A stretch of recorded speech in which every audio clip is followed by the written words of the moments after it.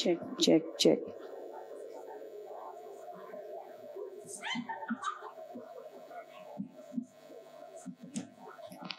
Cek. Bismillahirrahmanirrahim. Assalamualaikum warahmatullahi wabarakatuh. Kok lemes ya? Saya ulangi ya. Assalamualaikum warahmatullahi wabarakatuh. Uh, selamat pagi dan salam uh, sejahtera bagi kita semua. Selamat datang para mahasiswa Ilmu Komunikasi UMY. Saya kira di sini ada angkatan 2021 ya, angkat tangan 2021. Oke, 2021. Kemudian ada angkatan 2002 ya, angkatan 2002 angkat tangan. Eh,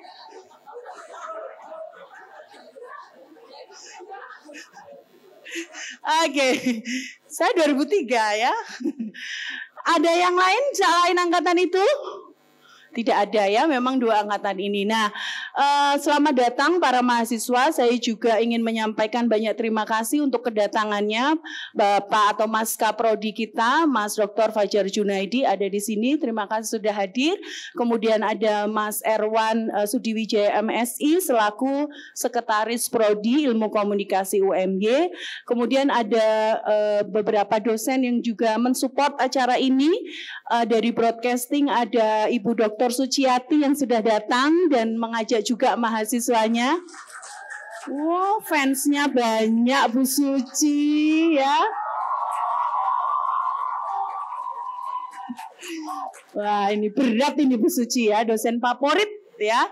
Kemudian ada um, Mbak Dr. Friski Yulianti Nurnisha dari PR.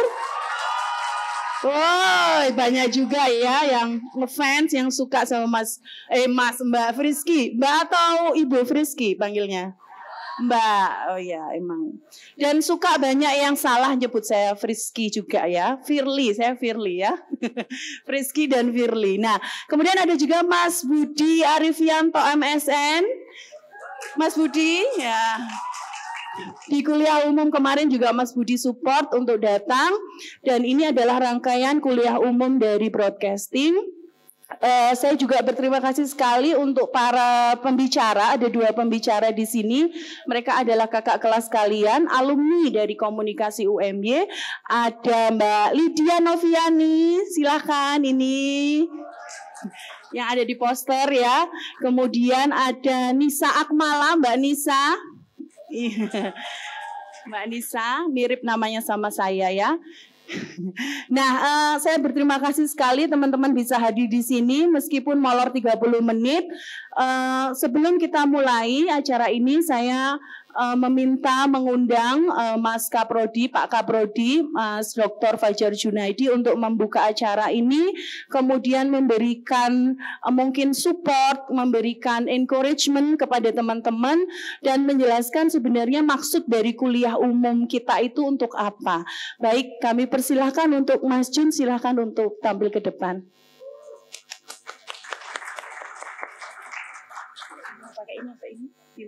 Oke. Bismillahirrahmanirrahim. Assalamualaikum warahmatullahi wabarakatuh. Uh, teman-teman yang berbahagia, terima kasih untuk kedatangannya semua dosen, Bu Suci, Mbak Friski, Mas Irwan, Mas Tobon, Mbak Fili, teman-teman lab yang sudah banyak bantu dan uh, pembicara kita yang luar biasa, Mbak Lydia dan Mbak Nisa. Mbak Lydia ini angkatan 2009 itu saya masih ingat dulu launching bukunya itu di Kledoan Nisa ini ini kamu berapa? 2014 ya? Oh 2012 angkatannya Mas Erwin, Adam dan sebagainya. Angkatannya Mbak Almas itu. Angkatan yang dua-duanya sangat berprestasi karena dulu pada tembus PIMNAS Pekan Ilmiah Mahasiswa Nasional gitu. Itu salah satu achievement plus untuk mereka semua. Uh, serta teman-teman mahasiswa yang berbahagia. Jadi kami di Prodi memang menginginkan agar Prodi ini menjadi titik hub titik temu antara mahasiswa, dosen, akademisi, praktisi, dan industri. Makanya kami di Prodi memperbanyak kegiatan-kegiatan seperti ini. Jadi kalau teman-teman angkatan 2021 dan 2022 katakanlah Mbak Nisa Akmala ini angkatan 2012, maka Anda harus berimajinasi 10 tahun ke depan 2032 10 tahun setelah menjadi mahasiswa, panjenengan semua harus mencapai achievement di atas beliau berdua. Amin. Amin. Karena achievementnya sama atau di bawahnya itu namanya kemunduran. Begitu, oke. Okay? Eh, teman-teman yang berbahagia, selamat belajar, selamat berproses dalam kuliah umum ini. Jadikan kuliah umum ini sebagai inaugurasi perkenalan bagi teman-teman mahasiswa, terutama semester 3 dan semester baru semester 1 untuk menghadapi dunia kerja untuk bertemu dengan uh, apa industri gitu, industri maupun akademisi maupun uh, praktisi. Saya selalu ingat ketika dulu kuliah tahun 98, saya di kelasnya Bu Suci, Bu Suci ini 91 Mbak ya. 90, 90, Puji 90, saya 98. Uh, satu alma mater, teman-teman, Anda harus berimajinasi seperti itu. Saya dulu ingat ketika jadi mahasiswa itu selalu senang kalau yang mengisi acara itu alumni. Mengapa? Punya darah yang sama, sama-sama darahnya merah alma mater UMI. Itulah mengapa rambut saya tak cat merah seperti Mbak Lydia. Oke, wujud kecintaan pada UMI. Oke teman-teman yang berbahagia selamat belajar jadikan kesempatan ini untuk belajar dan lebih itu lebih dari itu bagian untuk berjejaring mengenal dengan teman-teman alumni dan mendapatkan ilmu sebanyak-banyaknya. Sekali lagi aplaus untuk dua pembicara kita dan teman-teman semua. Assalamualaikum warahmatullahi wabarakatuh. Terima kasih Mas Jun yang selalu memberi apa ya positive vibes gitu ya, memberikan banyak sekali encouragement ke kita semua, ke teman-teman semua.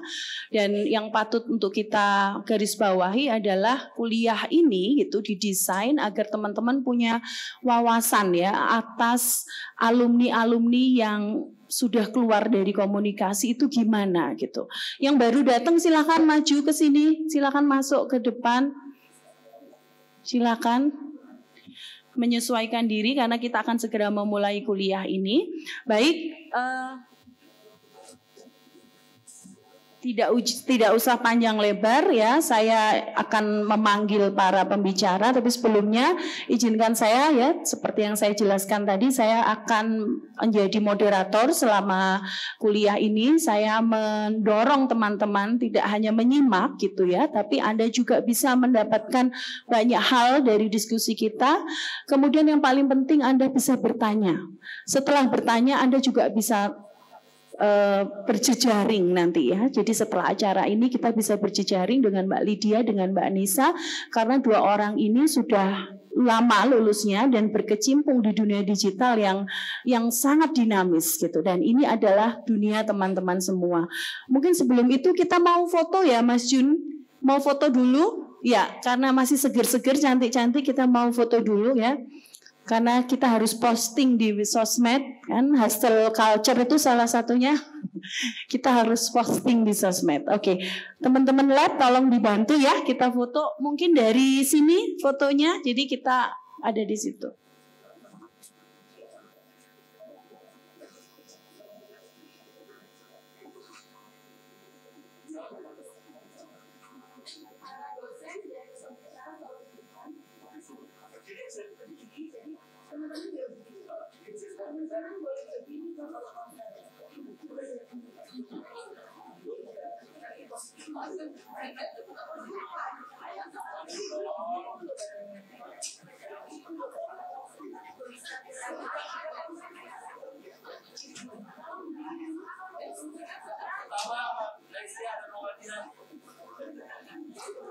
Ibu boleh bergeser ke tengah.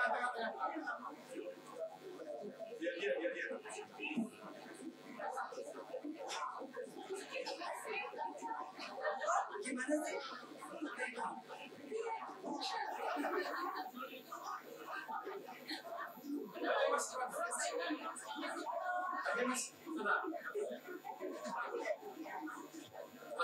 ya? Iya. Iya, monggo.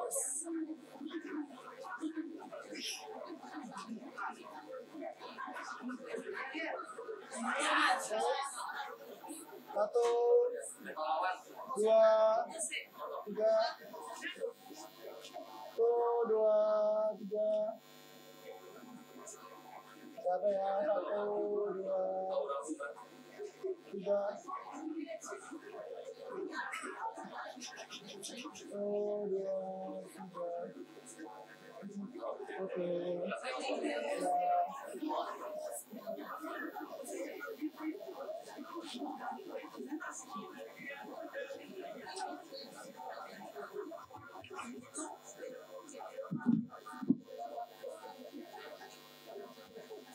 Baik, terima kasih teman-teman yang sudah sudah mau foto bersama. Mari kita lanjutkan dulu kuliahnya, kita mulai dulu kuliahnya.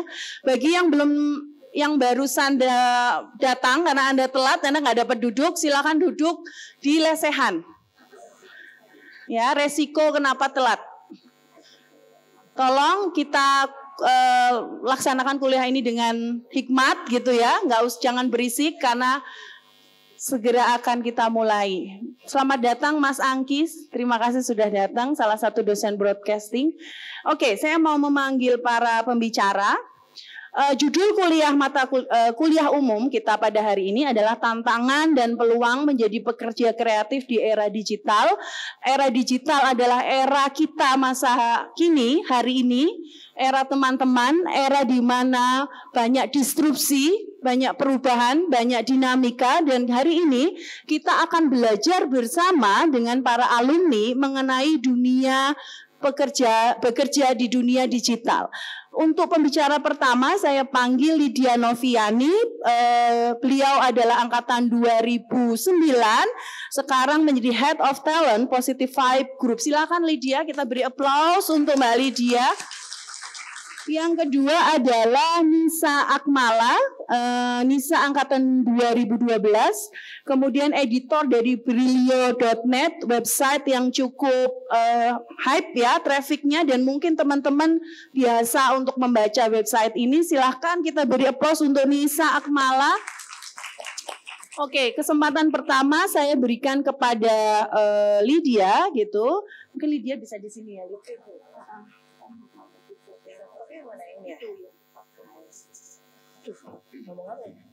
Jadi eh, Lydia ini sudah malang melintang ya di dunia industri film ya awalnya ya Lid ya, industri film publicist, kemudian pernah di JAF juga Jogja Asian Film Festival, kemudian jadi publicist beberapa film nasional gitu, kemudian pada akhirnya dia memutuskan untuk bekerja di dunia digital talent gitu. Nah, untuk lebih lengkapnya Lydia nanti bisa langsung share pengalaman dan CV mungkin ya Lid ya. Waktu dan tempat silakan Lydia, saya persilahkan.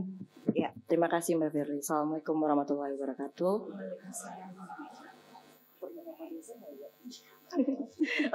So- eh, mau nyapa dulu nih buat Mas Jun, Bu Suci, Mbak Firly, Mas Tobon, Mbak Friski, ada Mas Herwan, ada Mas Angki. Eh, thank you so much sudah diajakin ke sini dan selamat pagi teman-teman semua. Biar nggak adik-adik ya, teman-teman aja ya. Kita se- sebaya ya, sepantaran kita pokoknya ya. Saya menolak tua. nggak mau tahu pokoknya kita sebaya. Oke, sebenarnya hari ini aku mau sharing lebih sharing tentang manajemen talent and uh, KOL and influencer. Nah, kenapa uh, yang aku sharing adalah hal yang sedang aku kerjakan saat ini. Nah, tadi udah udah dikenalin sama Mbak Firly, tapi aku mau kenalan secara personal. Buat se- buat bukti bahwa aku emang mahasiswa UMY itu ada fotonya bareng sama Mas Jun di di 2014 abis apa sih ya namanya? Habis pendadaran. Bener. Habis pendadaran kita eh, ya foto-foto bareng lah biasalah euforia kelulusan ya. Kemudian setelah dari 2014 aku sempat melanjutkan pendidikan lagi di universitas sebelah di tahun 2015 kemudian setelah itu luntang lantung sebenarnya luntang lantung dalam artian aku bu, eh, mungkin disclaimer aku bukan lulusan yang bekerja di korporat atau misalnya langsung kayak masuk kompas.com, masuk TV atau apa. Sebenarnya luntang lantung dalam hal aku freelance ba- eh, banyak freelance di di beberapa tempat. Salah satunya adalah kebanyakan eh, as publicist untuk film. Sempat kepikiran aku nih kayaknya nggak ada masa depannya deh kok luntang lantung kayak gini nggak nggak nggak bonafit deh tempat kerjanya. Turns out kalau misalnya teman-teman punya hal atau keresahan yang sama bisa jadi teman-teman adalah orang-orang yang ternyata memang harus create sesuatu untuk diri kalian sendiri dan yang akhirnya bareng sama teman-teman di tahun 2020 uh, kita menambah satu lini bisnis dari Positive Vibe Group menjadi salah satu satu lini bisnis yaitu Positive Vibe Entertainment di mana Positive Vibe Entertainment itu lebih uh, punya fokus di bidang uh, manajemen yaitu terutama di manajemen KOL dan influencer. Nah, kalau ngomongin manajemen, manajemen talent, sebenarnya manajemen talent itu udah banyak banget dan udah ada dari dulu. Biasanya teman-teman mungkin akan tahu eh, paling gampang manajemen artis, para para selebriti. Cuma yang apa ketika ketika akan membuat satu lini bisnis, kami berpikir apa yang akan membuat eh, bisnis kami ini beda eh, dari manajemen-manajemen lain. Kemudian perjalanannya dimulai dengan akhirnya eh, fokus pada KOL, influencer ataupun orang-orang yang sudah sudah punya kredibilitas di tempatnya di wadahnya masing-masing. Nah, kita start jalan dengan dua orang ini di tahun 2020 se- eh, bulan Februari. Kita mulai kenalan sama Mbak Afutami dan Mbak Dana Paramita. Nah, Mbak Afuti, Mbak Afutami ini adalah peneliti ekonomi lingkungan di World Bank. Kemudian kalau Mbak Dana Paramita itu eh, jurnalis di eh, Lipu- Liputan 6. Nah, mereka adalah teman-teman dari eh, dari teman-teman kan, dari ke teman-teman kantor di Positive Vibe. Dari situ mereka kita ajak untuk mau nggak kerja sama sama kita untuk kita handle untuk jadi talent kita. Berawal dari dua orang ini, kemudian kan ada flop tuh, flop dalam artian kita tiba-tiba pandemi, tiba-tiba di Maret semuanya di lockdown, semuanya nggak boleh nggak boleh berkeluar nggak boleh keluar kita nggak bisa ngadain event offline mereka juga tidak bisa menjadi narasumber offline yang misalnya hadir seperti saya saat ini sedangkan salah satu pekerjaan yang akan mereka lakukan sebagai talent di uh, Positive Vibe adalah hadir dalam seminar misalnya mengisi seminar kayak gitu. Cuma ternyata uh, pandemi itu nggak menut meskipun terlihat menutup satu peluang ternyata membuka peluang yang lain. Yang dulunya webinar itu tidak se-famous sekarang akhirnya webinar itu menjadi sangat famous. Dan akhirnya kami uh, mulai berani lagi scouting talent mulai cari lagi siapa talent-talent yang bisa kita ajak kerjasama untuk di Positive Vibe. Nah kemudian ada orang-orang ini yang yang kemudian kita ajak dengan total sekarang di Positive Vibe itu ada 26 talent yang saya dan tim pegang untuk uh, handle. Nah, teman-teman kalau misalnya mau follow teman-teman talent kami silahkan karena kayak Mbak Afu itu baru ngeluar Mbak Afu tadi baru ngeluarin buku yang judulnya Menjadi. Itu akan banyak cerita bukunya tentang bagaimana berpikir kritis. Itu akan berguna banget buat teman-teman yang ada sekarang. Mbak Dana lewat uh, channel YouTube-nya suka sharing tentang tips jurnalistik. Uh, Kak Shiva suka sharing tentang tips-tips kuliah gimana gimana menghadapi perkuliahan. Kalau misalnya teman-teman ada yang suka uh, kepenulisan bisa follow juga Mas Adimas. Nah, di di luar sana ada juga kita nanti bisa belajar misalnya psikologi konsumer. Uh, itu ada Mas Irfan Agia ada Mbak Dara Nasution yang juga di konten-kontennya ngajarin tentang atau membagikan tips tentang kebijakan publik ataupun tips-tips mengenai beasiswa. Nah mungkin kan teman-teman nanti pengen nih uh, dapat beasiswa ke mana gitu. Nah mungkin bisa follow juga Mbak Dara gitu kan. Kalau Mbak Firly seneng masak mungkin follow Ajis ya kayak gitu. Dan kita ada Mas Buki juga yang uh, ketua Yayasan Merdeka Belajar gitu kan. Ada Mbak Amanda Falani dan juga ada Kak Alamanda Shantika yang merupakan CEO dari Binar dan ex dari uh, tim Gojek. Nah perjalanannya itu biarpun pandemi ternyata nggak nutup kemungkinan untuk nambah nambah orang, nambah talent sampai akhirnya ya bisnisnya berkembang. Padahal waktu di bulan Maret kita berpikir kayaknya gagal deh bisnis uh, lini bisnis baru yang kita kembangkan.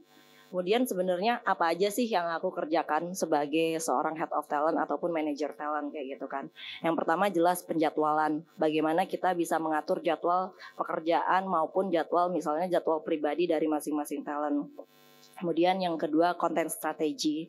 Bagaimana akhirnya kami uh, saya dan tim membuat konten strategi untuk masing-masing persona orang dari 26 orang ini. Ya si A bakal kontennya apa, si B akan kontennya apa. Kemudian kita harus uh, harus bikin konten yang kayak gimana biar menarik buat teman-teman yang uh, menjadi menjadi audiens kami kayak gitu dan kemudian salah satunya juga pastinya melakukan uh, kerjasama baik kerjasama brand ataupun kerjasama misalnya dengan kampus atau institusi lainnya. Kemudian uh, aku mau sambil nanya dulu dong, teman-teman tuh tahu nggak perbedaannya misalnya influencer, KOL ataupun konten kreator? Ada yang kebayang? Kalau ada yang tahu boleh angkat tangan mungkin. Uh, oh iya ada buku nih yang yang bisa jawab akan akan dapat buku dari Mbak Firly. Iya, dari prodi ada buku. jadi kalau kalian bisa jawab pertanyaan ini bisa langsung dapat buku satu. Apa bedanya tadi Mbak Lydia? Influencer, KOL dan content creator. Nggak ada, mungkin masih malu-malu. Baiklah. Oke, saya lanjutkan ya. Perbedaannya sebenarnya sangat-sangat tipis. Aku jelasin satu-satu. Nah, influencer itu menurut Ryan and Jones dalam buku Understanding Digital Marketing didefinisikan sebagai orang yang memiliki pengaruh di dunia media sosial. Nah, influencer ini cirinya adalah mereka yang menjalin interaksi dengan followernya. Interaksinya yang dimaksud adalah interaksi secara luas. Kemudian kehidupan mereka memang sangat fokus hanya di kebanyakan hanya di dunia online saja. Jadi misalnya fokus membuat konten, fokus melakukan misalnya live streaming ataupun uh, kayak teman-teman tahu sekarang misalnya TikTok ataupun Shopee ataupun apa pun sekarang kan punya banyak platform yang melakukan live streaming dan salah satunya mereka juga punya spesifikasi misalnya ada yang uh, tentang lifestyle, ada yang tentang beauty, ada yang mungkin dia tentang kesehatan dan biasanya influencer itu akan bekerja sama akan diajak bekerja sama oleh brand untuk meningkatkan brand awareness dari sebuah brand. Nah, kemudian bedanya dengan KOL, KOL adalah orang-orang yang punya profesi profesi yang sudah mereka tekuni di daily life, misalnya lawyer, misalnya dokter, dan platform teman-teman KOL itu jauh lebih luas tidak sekedar di sosial media tapi mereka juga akan tampil di media-media mainstream seperti TV, radio, koran. Jadi platformnya mereka lebih luas dan sebenarnya interaksi mereka lebih lebih ke interaksi langsung yaitu misalnya mereka diundang untuk datang webinar untuk mengisi kelas tentang misalnya dokter gitu kan tentang kesehatan di masa pandemi kayak gitu. Tapi nggak jarang mereka saat ini juga uh, memanfaatkan yang namanya social media untuk mereka dapat berinteraksi dengan uh, audiens yang lebih luas. Dan karena mereka punya profesi yang sudah mereka tekuni, brand akan bekerja sama dengan mereka untuk meningkatkan kredibilitas brandnya. Jadi bukan cuma sekedar uh, awareness ataupun kesadaran ataupun melirik ke brandnya aja, tapi bagaimana brand ini valid dan uh, mempengaruhi uh, pembeli untuk uh, membeli lagi dan lagi kayak gitu. Sedangkan konten kreator itu apa? Konten kreator itu adalah orang-orang yang aktif di sosial media, bikin konten dan nggak jarang mereka juga menjadi orang yang mensuplai konten. Nah kalau teman-teman di sini misalnya di Instagramnya, di TikToknya udah mulai kayak ah aku mau bikin konten lah misalnya uh, a day in my life atau kayak aku mau bikin konten kalau aku lagi jalan-jalan, aku mau bikin konten aku lagi ngicipin kafe apa, itu teman-teman sebenarnya sudah bisa disebut konten creator. Nah, namun apakah teman-teman akan dilirik untuk kerjasama brand atau tidak, itu akan kembali lagi bagaimana kemudian teman-teman mengolah dan meningkatkan uh, konten-konten teman-teman dan juga misalnya uh, follower teman-teman, interaksi teman-teman dengan audiens di sosial media kayak gitu. Jadi kita semua sebenarnya sekarang di zaman digital ini sudah jadi content creator. Oke, kemudian masuk uh, ke judul tadi tantangan dan peluang uh, di dunia digital.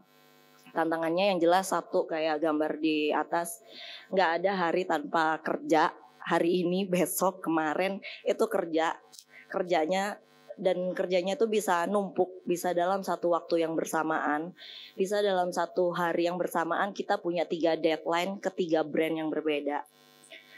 Dan kemudian yang yang menjadi tantangannya adalah gimana kalau namanya waktu itu menjadi infinity. Kita nggak punya lagi 24 jam per hari bisa aja 26 jam itu jadi satu hari.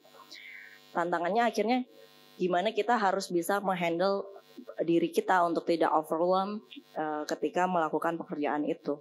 Tapi di balik tantangan itu ada banyak peluangnya di di dunia kreatif industri. Banyak jenis-jenis pekerjaan baru yang bermunculan seperti influencer, KOL ataupun content creator itu sebenarnya adalah hal-hal yang baru. Dulu di tahun saya masih duduk menjadi mahasiswa seperti teman-teman, adanya cuma buzzer dan buzzer pun itu mungkin kayak yang teman-teman kalau tahu di Jogja itu kayak misalnya info Jogja atau misalnya Lalin Jogja. Hanya hanya buzzer yang memberikan informasi-informasi general tanpa punya tanpa ada spesifikasi khusus. Spesifikasinya biasanya informasi update informasi event kayak gitu. Tapi sekarang ada yang namanya KOL ada yang namanya influencer ada yang bahkan ada pekerjaan yang akhirnya seperti yang saya tekuni sebagai manajemen talent kayak gitu. Dan dan masih banyak lagi pekerjaan yang bisa dilakukan. Misalnya dilakukan teman-teman dari rumah. Misalnya teman-teman sendiri setelah mau jadi content creator mau mau grow up nih. Oke deh kayaknya gue jiwa-jiwa diva nih. Kayak aku memang cocok ngartis. Aku mungkin bisa kali ya jadi influencer gitu. Mulailah bangun bangun uh, apa bangun diri kalian di lewat konten-konten kalian gitu. Karena ketika kalian memang mau membuka peluang untuk membuka diri misalnya mau jadi konten creator ataupun jadi influencer kesempatannya bisa bisa dilakukan di mana saja. Sekarang kan nggak nggak mesti kayak zaman dulu. Semua teman-temanku di di kuliah selalu berpikiran, oh biar sukses harus ke Jakarta, biar sukses harus ke Jakarta, harus kerja di Jakarta. Justru dengan sekarang ada digital, teman-teman bisa berjerjaring tanpa harus benar-benar stay di Jakarta gitu teman-teman bisa mulai ngerjain dari rumah bahkan kan kita meeting ataupun kuliah sudah mulai start dari rumah kayak gitu jadi lebih fleksibel, lebih banyak pilihan. Bah bahkan sekarang ada ada istilahnya digital nomad di mana dia mungkin bukan orang Indonesia tapi dia kerjanya di Indonesia, kerjanya ngapain? Ya udah buka laptop ngerjain kayak gitu. Jadi peluangnya sangat sangat luas dan banyak jenis-jenis pekerjaan baru yang yang ada sekarang. Oke, saya mau nanya.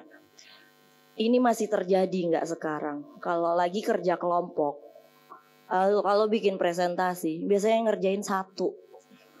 Sisanya tuh biasanya ngerumpi, main game, pinjemin HP buat ngebrowser, sama ada yang gini, aku nanti pas presentasi bagian mencet laptop aja ya. Masih ada nggak ini? Hah?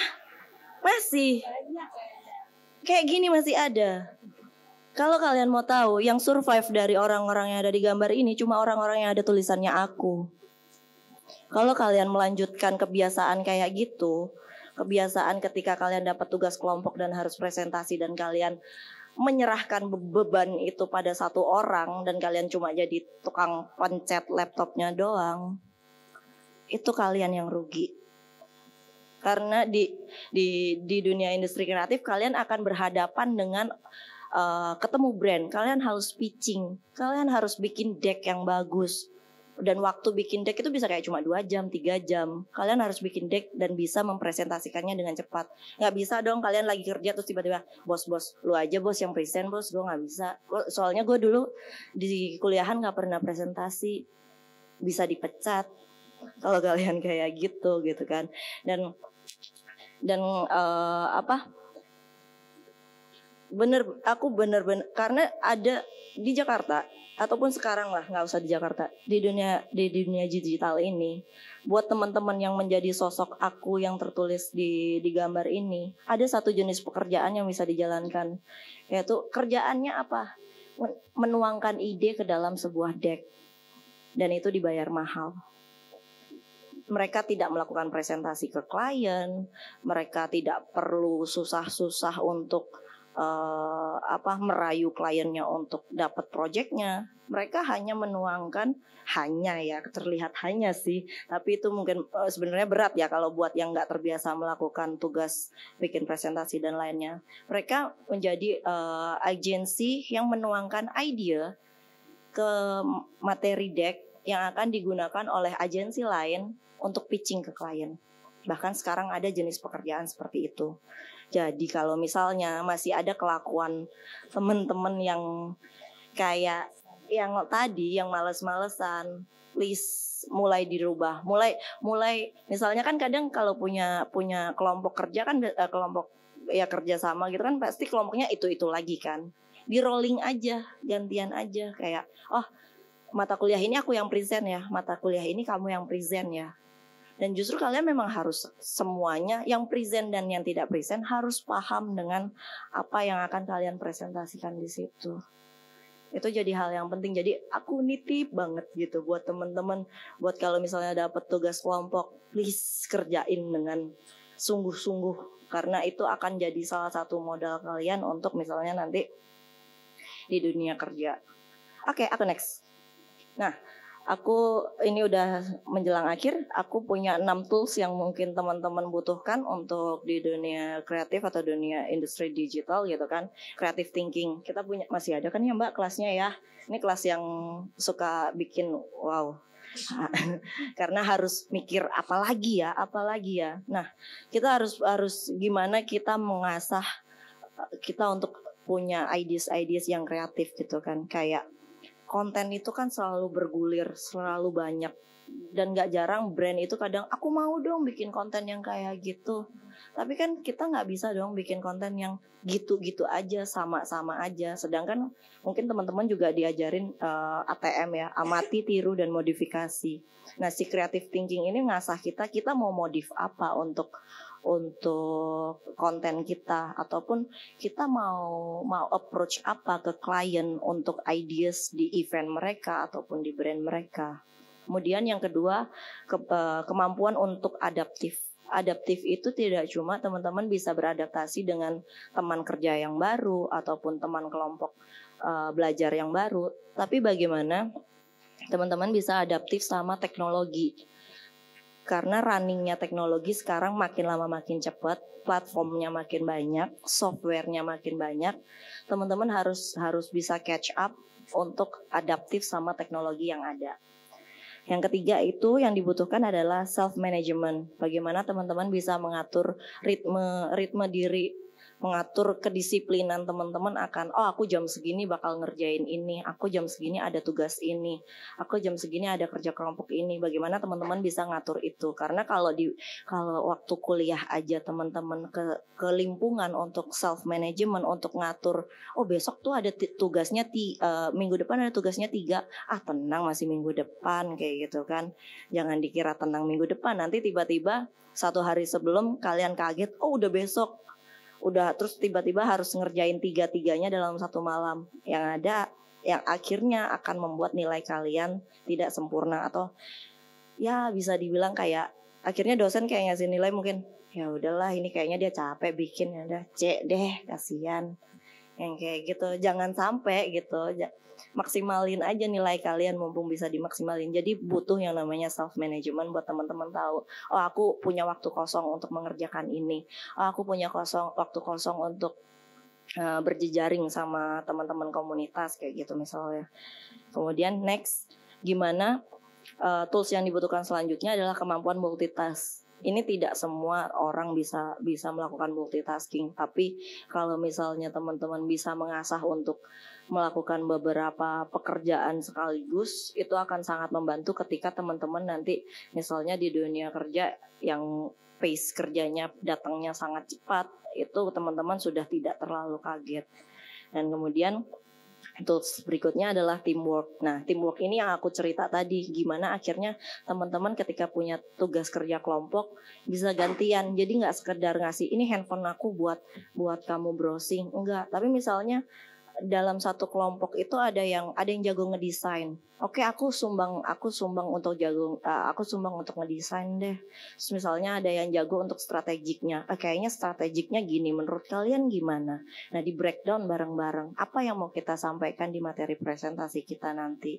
Bagaimana biar audiens kita yang teman-teman kita juga paham apa yang kita sampaikan. Kalau teman-teman bisa ngerjainnya secara teamwork dan tidak memasrahkan bebannya pada satu orang saja, yang jadi pinter itu jadinya nggak cuma satu orang tapi kalian semua dalam satu kelompok itu bisa sama-sama grow up sama-sama pinter. Dan kemudian tools yang paling penting yang terakhir orang dalam. Eh nggak bercanda. Bercanda bercanda sesat. Canda ya. Orang dalam itu maksudnya bagaimana teman-teman itu bisa menjalin relasi. Di sini kan ada ada angkatan 2022 sama 2021 itu kan aja udah angkatan yang beda. Gimana caranya kalian bisa saling kenal?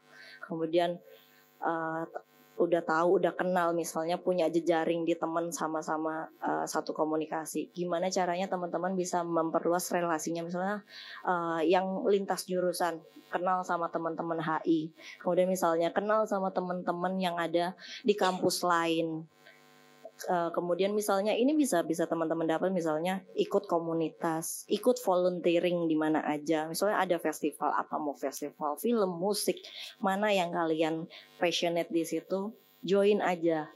Kenalan sama orang sebanyak-banyaknya karena itu akan sangat membantu kalian. Salah satu contoh yang yang terjadi di aku kemarin aku uh, ngerjain buat uh, motor GP mandiri dan itu akan ke Lombok aku kita punya punya partner untuk kerja di Lombok gitu kan SS teman kerja. Cuma ketika aku ada kebutuhan yang lain kayak gitu kan misalnya aku harus cari tempat yang menarik di Lombok atau apa. Aku ingat aku punya teman di UM UKM musik dia anak HI aku telepon kamu masih di Lombok nggak? Iya. Aku boleh minta tolong kayak gini kayak gini kayak gini dan itu sangat mempermudah. Itu akhirnya gunanya di mana relasi yang pernah kita bangun semasa kuliah akan sangat membantu kita di masa-masa bekerja nanti. Karena nggak akan pernah tahu uh, ketemunya sama siapa. Jadi ya kalau mau saling tukeran nomor handphone, saling follow di sosial media misalnya. Kita nggak pernah tahu misalnya mungkin nanti satu ada yang di Singapura, satu ada yang di Thailand, terus ada yang mau bisnis ekspor impor atau something.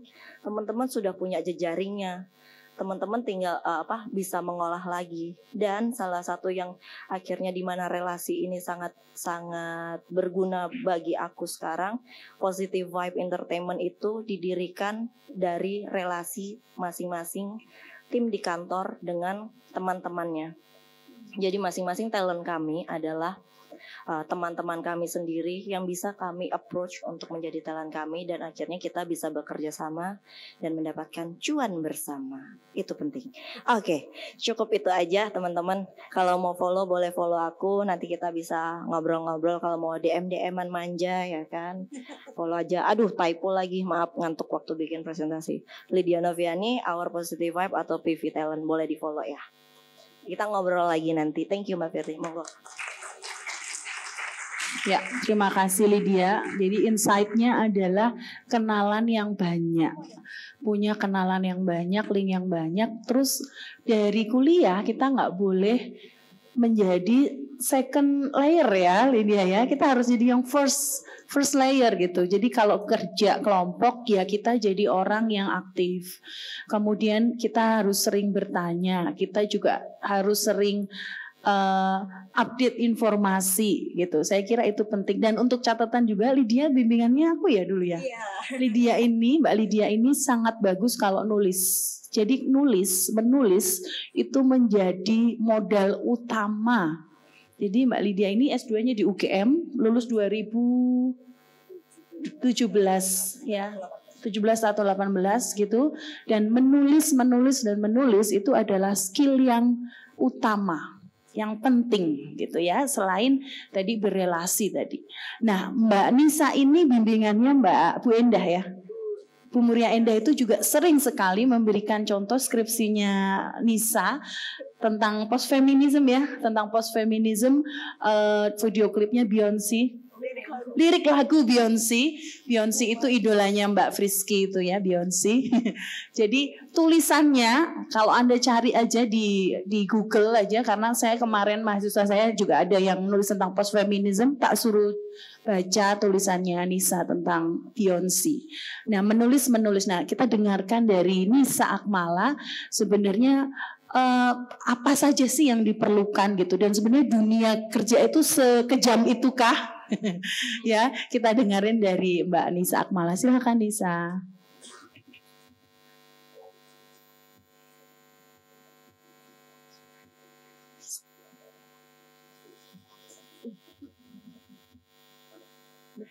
Selamat pagi semuanya. Masih semangat ya? Uh, udah pada sarapan kan? Oh, belum.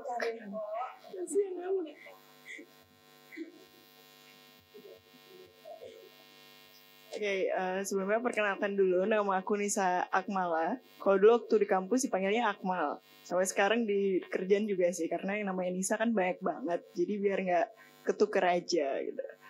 Uh, aku lulus 2012. Eh, aku masuk 2012, lulusnya 2017. Tapi nggak lima tahun ya, 4 tahun 8 bulan. Nggak terima kalau dibilang lima tahun gitu. Pokoknya 4 tahun 8 bulan. Uh, terus habis itu aku kerja di Brilio.net. Brilio.net ini sebenarnya uh, media nasional, tapi base uh, home redaksinya ada di Jogja, tapi head office-nya ada di Jakarta.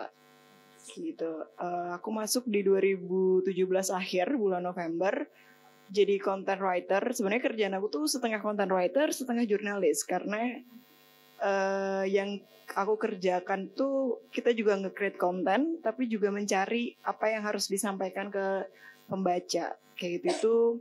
Dan di sana di Brilio.net itu kan desknya banyak banget. Uh, tapi yang kita sajikan tuh lebih ke entertainment uh, hiburan konten-konten hiburan yang segmennya adalah generasi-generasi muda generasi milenial generasi Z kayak gitu Uh, dan di sana aku spesialisnya di desk showbiz, jadi ngikutin terus tuh berita-berita terkini seputar dunia selebriti Indonesia, dunia uh, film, musik kayak gitu. Jadi kalau kayak berita-berita Lesti Bil Lesti Kejora, Rizky Bilar yang kemarin tuh saya cukup update ya.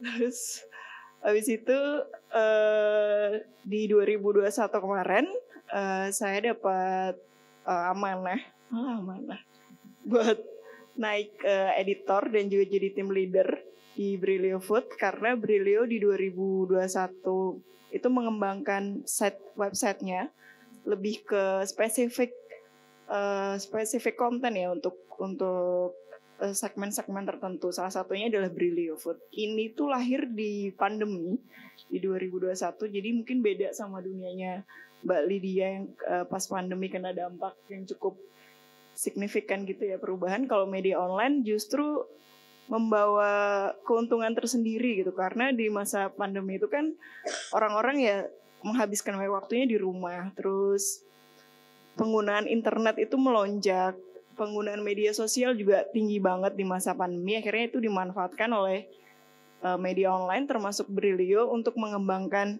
setnya ke bidang yang lain. Adalah bidang-bidang yang kira-kira bidang-bidang yang memang ditekuni yang memang disukai sama banyak orang gitu.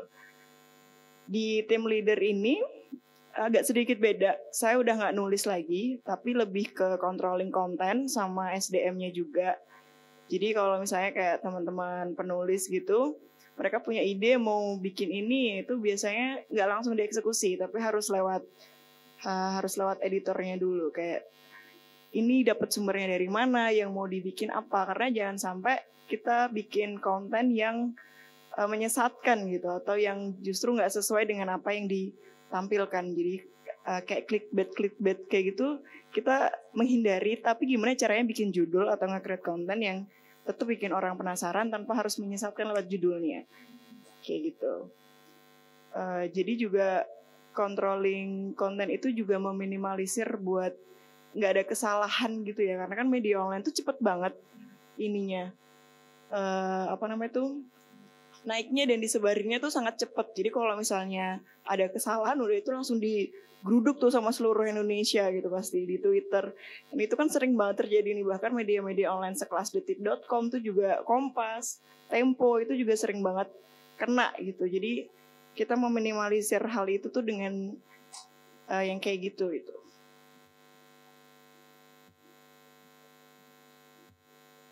Kemudian uh, typo waktu jadi content writer itu Brilio itu produksinya nggak cuma sekedar artikel doang, tapi kita juga ada video. Video-video ini tuh uh, sebagai content content writer kita juga dituntut buat bisa menciptakan uh, produk di audio visual. Itu salah satunya buat di channel YouTube-nya kita. Biasanya ya sih kayak apa aja sih yang lagi rame di Jogja. Jadi kita ada dua tim nih di Jogja dan di Jakarta. Jadi kalau yang di Jogja ya kita fokusnya regional Jogja gitu. Kayak misalnya apa sih yang lagi ramai di Jogja sekarang, siapa sih yang lagi dibicarain sekarang? Dan kemarin itu kan ramai banget tuh film Tilik tuh. Yang jadi uh, senternya itu kan Butejo. Kebetulan kemarin kita seneng banget bisa dapat kesempatan buat uh, ngawancara Mbak Siti Fauzia yang juga kebetulan adalah alumni UMY juga Iya pernah pernah pernah sekolah di sini juga. Terus itu juri kita manfaatkan karena kalau media online tuh kita harus benar-benar bisa memanfaatkan tren apa yang sedang rame, apa yang bisa di apa yang lagi dibicarakan orang tuh kita harus dapat momennya gitu. Nah tantangannya tuh gimana caranya nge-create konten yang lagi rame karena media online tuh kan banyak banget kita saingannya juga nggak cuma media online tapi juga konten-konten kreator dan juga KOL dan juga influencer yang juga memanfaatkan itu gitu. Jadi yang jadi tantangan deh buat Brilio Brilio.net itu yang kita segmennya beda sama media-media mainstream lainnya. Gimana nge-create konten yang sama tapi kemasannya tuh beda. Jadi teman-teman ketika baca satu konten yang sama nih misalnya di Brilio dan juga di IDN karena kan kita agak-agak ini ya ya agak-agak konco kental lah kompetitif gitu. Jadi gimana teman-teman ketika baca Brilio ketika baca IDN kontennya sama tapi experience waktu didapat tuh beda. Itu yang jadi tantangan buat kita sebagai content writer dan juga kreatif juga ya di uh, video ini Terus kemudian uh, tadi yang seperti aku singgung ini itu salah satu achievement saya ya sebagai seorang pekerja di media online. Kita bisa nge-create website Brilio Food ini di tengah pandemi. Ini baru jalan satu tahun uh, baru baru satu tahun lewat lah sedikit itu kita bangun ini cuma empat orang dengan dua editor dan juga dua penulis. Uh, tapi alhamdulillahnya karena pandemi itu orang tuh suka banget sama yang namanya masak. Jadi salah satu skill yang mereka upgrade kita di upgrade di masa pandemi itu adalah masak dan itu melahirkan ide dari Brilio untuk yaudah deh kita uh, fokusin dulu ke food. Tadi sebenarnya kita Brilio itu udah mempersiapkan tiga anak ya di bidang teknologi, kecantikan dan juga uh, food gitu. Tapi di masa pandemi itu keinginan orang-orang untuk bisa masak tuh tinggi banget, tinggi banget. Itu dari e-commerce kayak Tokopedia aja mereka uh, ngasih data di selama pandemi produk-produk yang laku terjual itu adalah alat-alat masak. Jadi ini yang bikin Brilio akhirnya menciptakan Brilio Food dan alhamdulillah itu juga ngebantu baru satu tahun, maksudnya dalam satu bulan kita bisa ngedapetin PV 10 juta page view dan juga usernya 5 sampai 6 juta hanya dengan empat tim gitu dan semuanya di create semuanya sebenarnya lebih jatuhnya nge-create ini sih konten kayak misalnya apa yang lagi uh, ada di media sosial itu kita sampaikan ke pembaca dengan model artikel kayak gitu.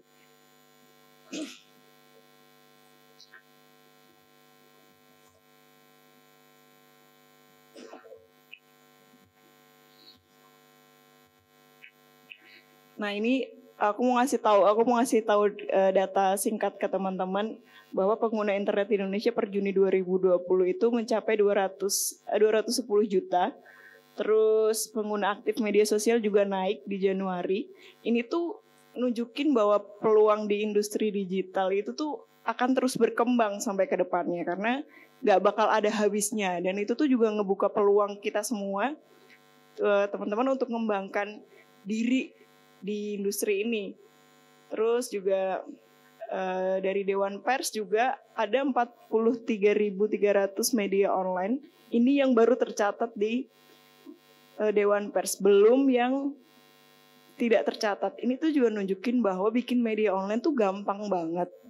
Nggak butuh modal banyak, nggak butuh alat-alat segala macam, tinggal bikin website, laptop, eh, sosial media modalnya udah. Tapi yang susah adalah gimana caranya bikin media online yang berkredibilitas gitu loh. Karena yang saking banyaknya ini juga kan eh, Dewan Pers juga mengakui bahwa controllingnya susah gitu. Karena ya itu tadi karena pergerakannya itu cepat banget.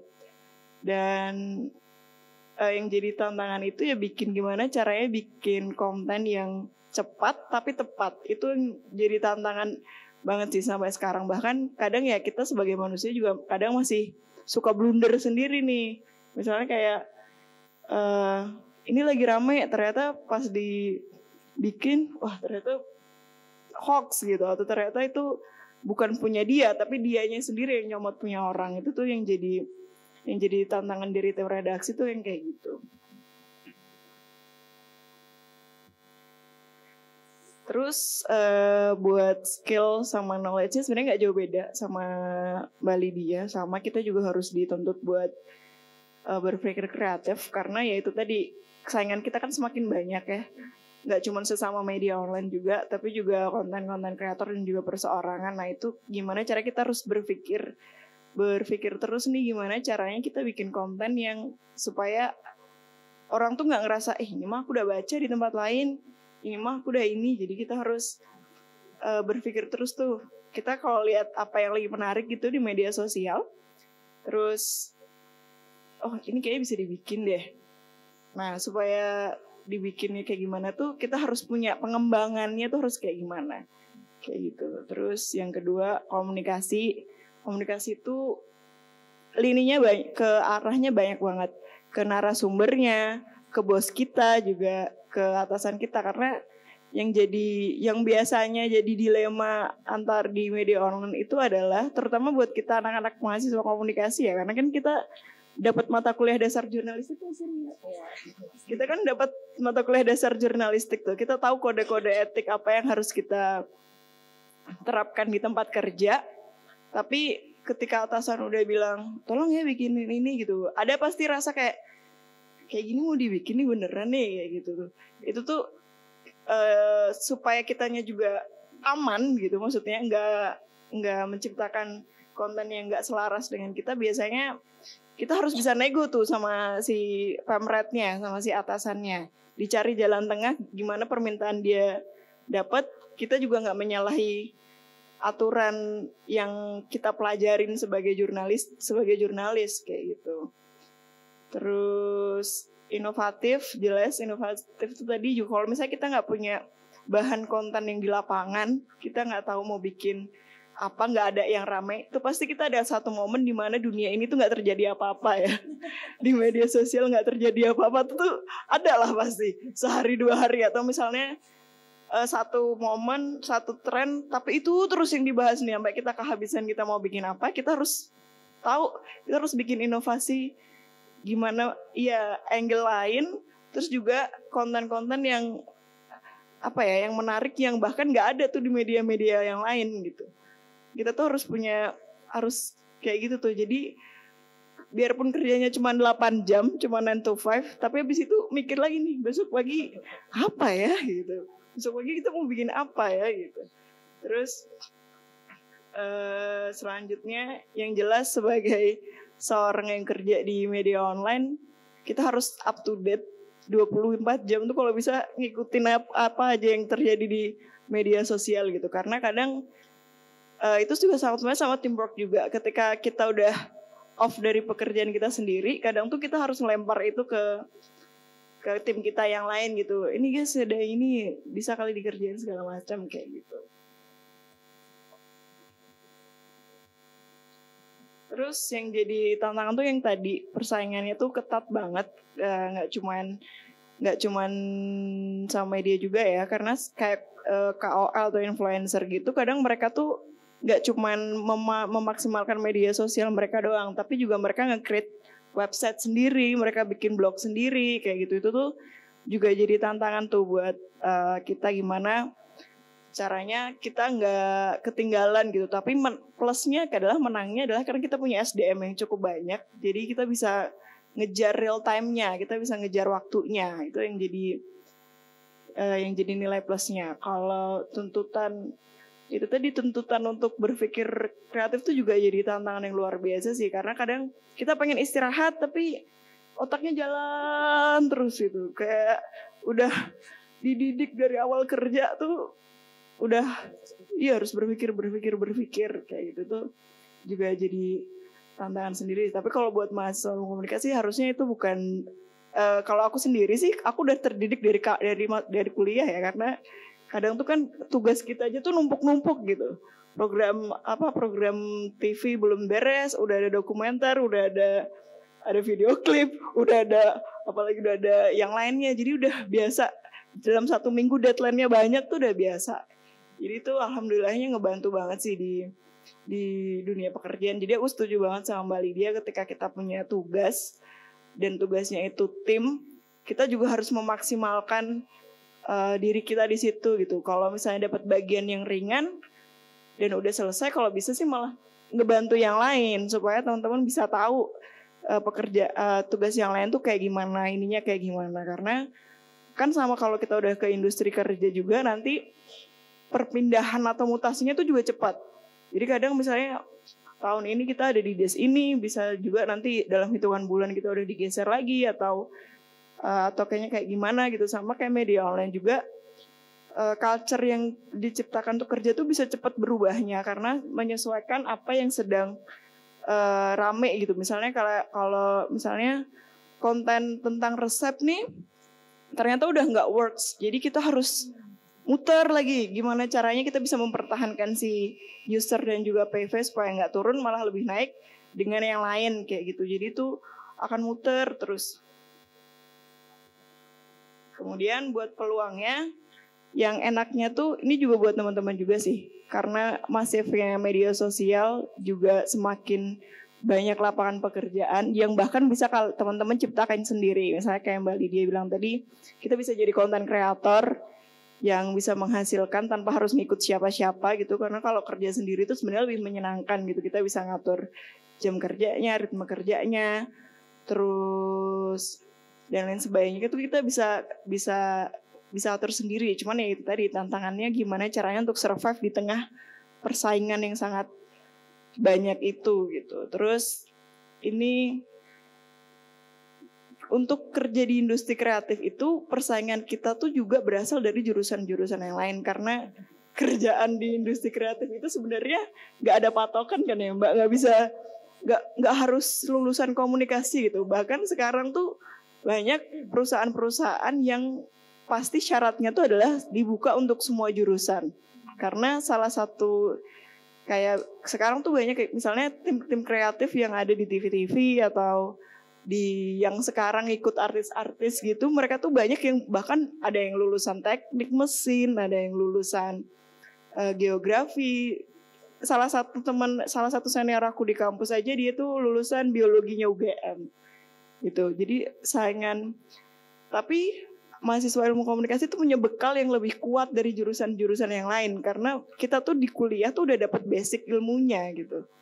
Kita udah punya bekal kuat di situ. Tinggal gimana kita memperkuat apa yang udah kita punya, terus kita beradaptasi di dunia pekerjaan. Yang kalau yang aku rasakan tuh salah satu karena kita kerjanya linear dari jurusan ke pekerjaan sekarang, itu tuh jadi lebih gampang beradaptasi gitu, lebih gampang beradaptasi dan lebih gampang uh, belajarnya karena karena aku penulis dulu di kuliah juga udah diajarin nulis jadinya cepet tinggal ngikutin pola pola karena kan kalau media tuh kan uh, penulisannya beda-beda tuh tinggal kita ngikutin pola di kantor ini tuh intinya kayak gimana gitu terus juga itu tadi kita udah biasa tugas kelompok, teamwork, teamwork tuh udah ngebantu banget.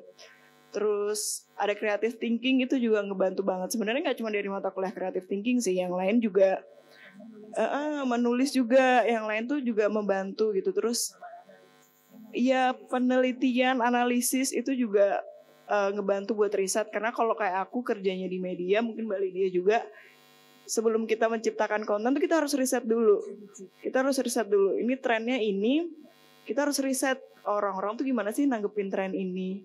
Terus apa aja gitu yang mereka ini akhirnya kita bisa menciptakan si konten itu. Jadi menurut aku teman-teman tuh kita sebagai lulusan komunikasi tuh di era digital ini sebenarnya menang banyak dibanding jurusan-jurusan yang lain. Jadi tinggal gimana kita uh, memperkuatkan itu. Dan satu lagi sih teman-teman tuh harus punya mental yang kuat. Asli. Mental baja tuh uh, harus punya. Karena ketika nanti masuk dunia kerja uh, kita tuh pedih pedih pedih banget.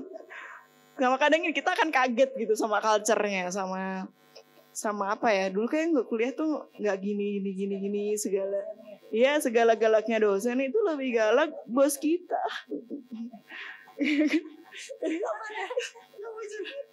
lebih galak tuh bos kita. Tapi kalau dapat bos yang galak tapi dia bisa uh, pengertian itu bonus sih. Maksudnya bisa membuka peluang jarang. Jarang bos saya alhamdulillah baik.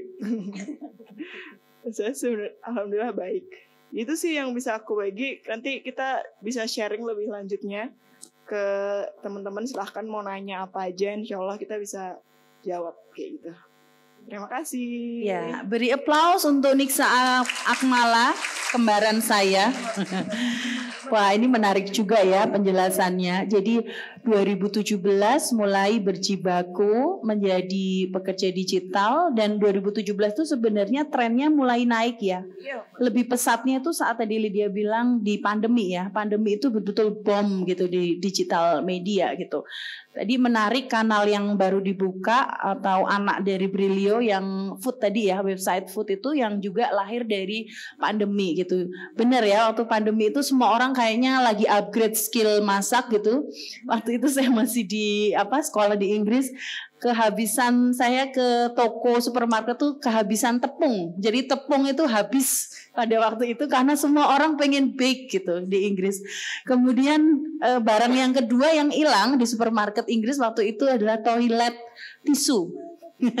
Iya, jadi orang Inggris itu kan kalau kalau apa eh, ke toilet itu kan pakai tisu ya. Jadi tepung dan tisu itu menjadi hal yang hilang di pasaran waktu itu. Jadi betul sekali kalau kita ngerti bagaimana uh, krisis terjadi, tapi kalau kita sudah punya tadi daya kritis, kemudian daya analisis gitu, sebenarnya itu bisa turn back ya turn point kita gitu ya justru itu menjadi peluang gitu saya kira itu hal yang patut patut dicatat dari dua pembicara tadi Oke, saya buka uh, termin pertama.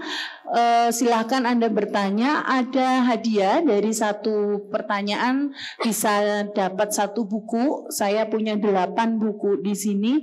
Jadi silahkan uh, mengajukan pertanyaan.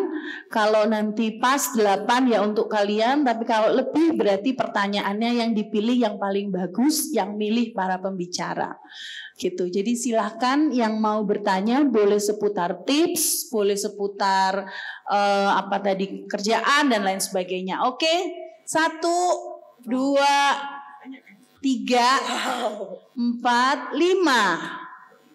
Lima ya, baru lima. Oke, tim lab Mbak Putri dibantu uh, yang bisa mendistribusikan mic-nya dari belakang. Ini cewek semua nih, cowok-cowoknya mana ya? Oh ini, enam. Oke. Dari sana dulu, dari pojok dulu ya. Yang pertama kali angkat tangan tadi. Sebutkan nama, mungkin angkatan, kemudian pertanyaan singkat padat jelas. Dan yang bagus nanti dipilih bisa dapat hadiah buku. Silakan. Tes. Oke, baik. Uh, Baik, terima kasih atas kesempatan yang telah diberikan oleh saya. Uh, halo teman-teman, dan Bapak dan Ibu dosen. Baik, perkenalkan nama saya Anissa Nurul Sadrina, bisa dipanggil Nishat. Saya dari Ilmu Komunikasi angkatan 2021. Baik, eh, pertanyaan yang mau saya tanyakan adalah saya meng-highlight di bagian 6 tol yang dibutuhkan. Mungkin lebih ke Mbak Lydia ya. Jadi salah satunya adalah self management. Nah, self management ini kan setiap orang pasti punya self managementnya tersendiri ya. Dan self management itu salah satu contoh skillnya adalah manajemen waktu. Nah, uh, mungkin bisa diceritain nih ke teman-teman uh, self management apa yang Mbak Lydia lakukan. Mungkin ada satu contoh atau satu metode yang bisa Mbak Lydia uh, ceritain dan share ke kami-kami yang ada di sini. Sekian dari saya. Wabillahi taufiq. Wassalamualaikum warahmatullahi wabarakatuh. Waalaikumsalam. Wah, bagus sekali pertanyaannya ya. Self management. Gimana sih caranya self management dari Anissa Nurul Sabrina ya? Oke. Okay. Ya, yang kedua tadi di sini, ya silakan.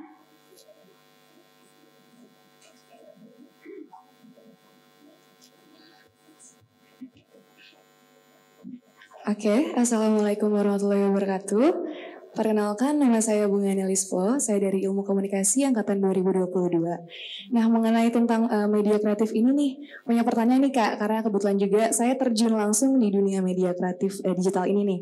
Sering banget nih kalau misalnya kita bikin konten nih, sering banget ngerasa burnout. Kayak gimana sih cara mengatasi burnout itu? Karena kan kita harus update terus ya konten itu seperti apa, harus ngikut tren terus kan. Nah, jadi gimana sih caranya kita bisa mengatasi burnout itu? Sekian aja, terima kasih. Wassalamualaikum warahmatullahi wabarakatuh. Oke, okay, bagus bagus pertanyaan bunga ya. Jadi kita tidak bisa tidak bisa memungkiri kecapean, kelelahan. Gimana nih kakak, kakak-kakak ya. Overwhelm tadi sudah di mention sama Mbak Lydia. Oke, yang ketiga. Tadi ada yang cewek di sini satu lagi ya itu terus baru nanti Anda ya Mas ya. Yang ketiga. Silahkan. Belum nyala. Assalamualaikum warahmatullahi wabarakatuh. Perkenalkan, saya Regita Putri Indriani dari Ilmu Komunikasi Angkatan 2021. Uh, sebelumnya saya mohon izin bertanya untuk Mbak Lydia. Saya ingin bertanya mengenai bagaimana cara menulis yang baik dan bagaimana bisa mendapatkan diksi dan kosakata yang baik dalam menulis. Karena sejujurnya saya juga saat ini menggemari uh, menulis, jadi masih suka kebingungan untuk memilih diksi yang tepat, kata-kata yang tepat dalam menulis. Sekian, terima kasih. Wassalamualaikum warahmatullahi wabarakatuh. Juga nih pertanyaannya dari Regita nih, ketua kelas Regita ya. Regita uh, tanya kalau menulis tuh gimana diksinya, terus inspirasinya. Mungkin uh, Nisa Akmala juga bisa cerita ya, karena kalau menulis itu rumusnya apa gitu, caranya gimana. Oke, ini yang paling ganteng karena semua cewek ya. Ini salah satunya cowok. Silakan. Assalamualaikum warahmatullahi wabarakatuh. Uh, sebelumnya perkenalkan nama saya Krisna dari Ilmu Komunikasi angkatan 2021. Uh, eh, saya ingin bertanya uh, kepada dua pembicara, Mbak Nisa sama Mbak Lydia. Tadi kan keduanya mention bahwa di dunia digital ini kita harus kreatif. Nah saya sendiri uh, mencoba melihat ke diri saya bahwa saya ini orangnya nggak kreatif gitu. Nah itu gimana caranya? Apakah kita ini bisa bertahan di dunia digital kalau hanya ATM ATM ATM terus gitu mbak? Kira-kira bisa nggak gitu? M-nya kan ada kreatifnya itu. Uh, sekian dari saya. Terima kasih. Wassalamualaikum warahmatullahi wabarakatuh. Krisna ya, ini keresahan ya. Aku kok nggak kreatif, padahal disuruh kreatif tuh. Gimana caranya biar bisa kreatif? Ini boleh pengakuan ya, boleh curhat, boleh pengakuan dan uh, kuliah itu waktunya keresahan ya. Orang resah itu di kuliah, jangan sampai udah lulus baru resah ya, malah bingung nanti. Oke, berikutnya penanya kelima dari sini ya.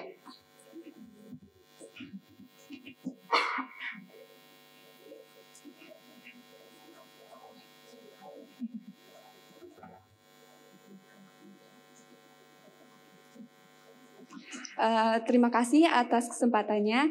Uh, sebelumnya perkenalkan nama saya Ali Rika Hasanah, saya dari uh, angkatan 2021. Uh, izin bertanya untuk kedua pembicara, uh, apa saja sih kesulitan uh, yang dihadapi Mbak Lydia sebagai Head of Talent Positif uh, Vibe Group dan Mbak Akmal sebagai editor Brilionet di lingkungan pekerjaan. Mungkin kesulitan di sini uh, dari bis, faktor eksternal maupun internal, bis, bisa dari timnya atau uh, dari luar. Dan bagaimana sih cara Mbak uh, buat uh, menghadapi kesulitan tersebut? Terima kasih. Terima kasih. Alia ya. Kesulitan, pasti ada kesulitan tadi yang pedih-pedih dari bosnya galak ya, ngelang Jadi kalau saya galak itu jangan marah kalian ya, karena nggak ada apa-apanya sama bos. Ya ini. Nggak ada apa-apanya sama klien. Nggak ada apa-apanya sama klien ya, bisa di, wah nggak karu-karuan gitu, demanding ya. Oke, yang lain tadi ada, ya satu lagi. Ya kita tutup dulu, satu lagi habis itu dijawab ya Mbak Lydia sama Mbak Nisa Akmal. Ini satu lagi ya.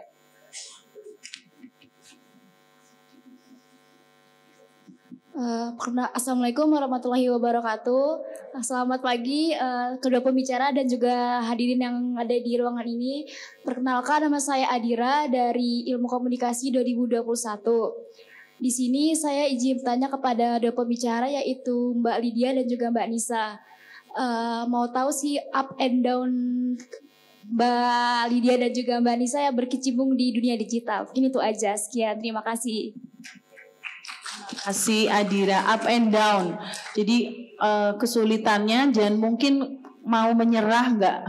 kalau kalau menyerah nggak makan mereka ya, nggak bisa beli, nggak bisa healing kan mereka. Jadi nggak boleh down gitu kan? Oke, kita beri uh, kesempatan untuk menjawab Mbak Lydia dulu apa Mbak Nisa dulu? Lydia dulu. Oke, silakan Lid. Ini dari yang mana nih Mbak? Banyak juga nih. Terserah, terserah dari mana. Kayaknya pertanyaannya sebenarnya mirip-mirip. Mirip-mirip. Oke, okay tadi kan Nisa sempat nanyain tuh kayak gimana sih ta, uh, time managementnya gitu kan. Kalau aku sebenarnya uh, sebelum time management pas bangun tidur sebenarnya jangan megang HP dulu. Satu itu paling penting. Jauh-jauhin tuh HP. Kalau misalnya emang mau pakai buat alarm, mode airplane aja alarm. Nanti kalau misalnya kalian emang mau bangun, matiin, taruh dulu tapi jadi kalian baru bangun punya waktu dulu 5-10 menit buat diri kalian sendiri dulu. Kayak oh ya misalnya aku bersyukur aku udah bangun pagi, aku oh aku hari ini bakal ngapain aja ya kayak mulai mulai di dirasain aja dulu bangun oh enak stretching gitu kan. Terus kayak misalnya oh hari ini aku mau ngapain aja. Nah setelah kalian udah cukup sadar dari bangun tidur itu, mulai listing hari ini bakal ngapain aja. Oh hari ini kuliahnya ada tiga, jam segini, jam segini, jam segini. Ada waktu kosongnya kapan ya? Oh kosong ini tuh waktu makan. Terus ada waktu kosong apa lagi? Nah itu baru kalian yang waktu kosong kalian isi. Oh ini berarti ini aku mau ngerjain. Ah, ini aku mau ke perpus ngerjain tugas ini. Ini aku mau ke uh, ke mana gitu kan misalnya mau kerja kelompok atau apa. Nah mulai di listing dari pagi. Nah setelah kalian listing kalian jadi tahu hari itu kalian perlu stick stick on what you listing kayak oh kuliah ini ini apakah misalnya nanti di di di pas di implementasinya itu kayak tiba-tiba ada ada kelas apa kelas dadakan yang bubar atau apa eh, bikin aja backup plan-nya kira-kira mau apa. Atau misalnya bisa dimajuin dari yang tadinya kalian punya plan ngerjainnya sore setelah kuliah selesai terus ada kuliah yang ternyata kosong misalnya karena dosennya berhalangan hadir atau apa silahkan dimajukan gitu. Jadi yang jelas yang sudah kalian list wajib kalian kerjakan di hari itu. Itu salah satu cara ngatur waktunya supaya waktu kita nggak kebuang sia-sia. Kedua, kurangin nongkrong nggak penting.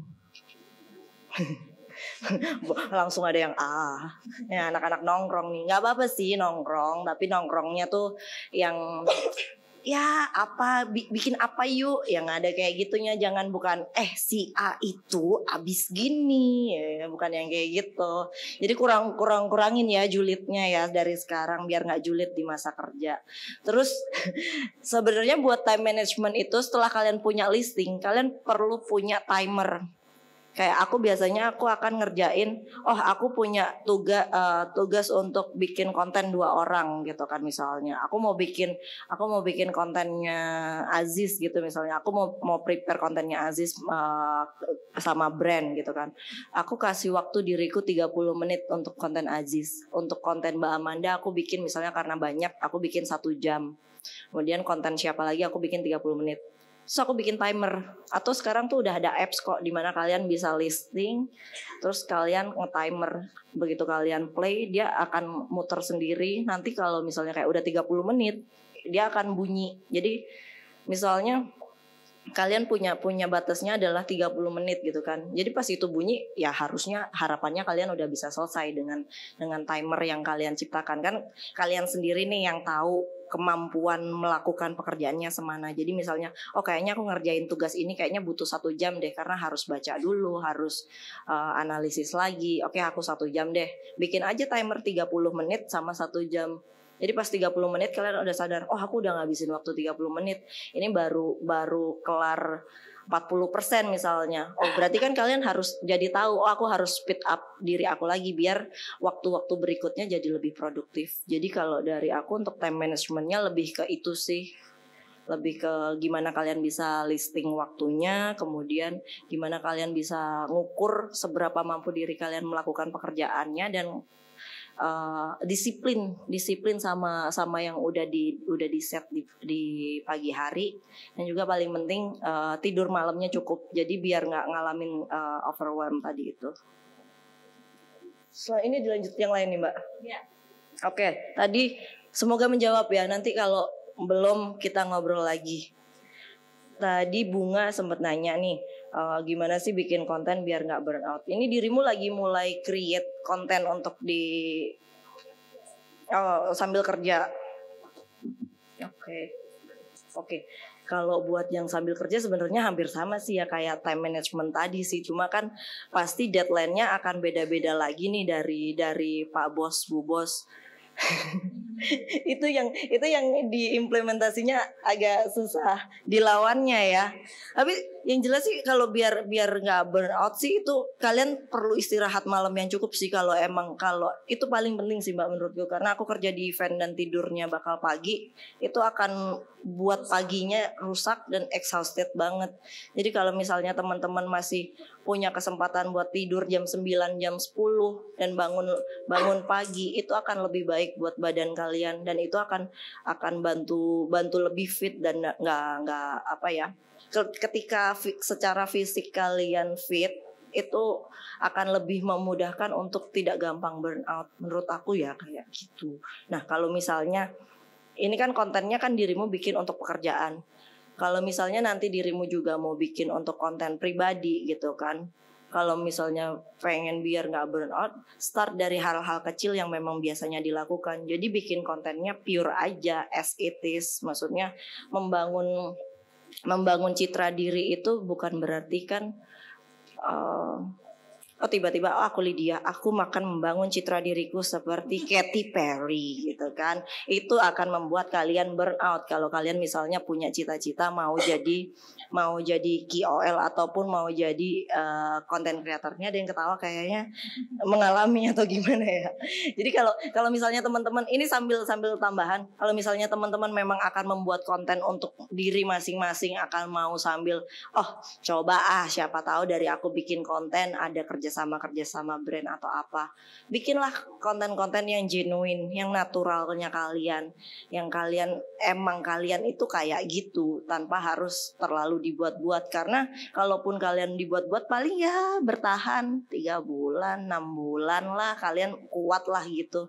Tapi lama-lama kayak eh, kayak capek kayak kayak mau muntah gue bikin konten gue sendiri kayak gitu. Jadi yang natural aja kayak gitu semoga menjawab nanti dibantu mbak karena dia pasti tekanannya lebih banyak daripada aku kalau kalau aku kan karena karena dia udah bosnya ternyata. Karena saya yang menekan.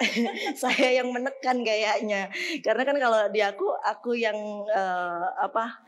Aku kebanyakan sekarang kan udah udah ngecek aja ya. Jadi yang yang justru justru ini yang belajar dari UMY sih Mbak gimana memanusiakan manusia.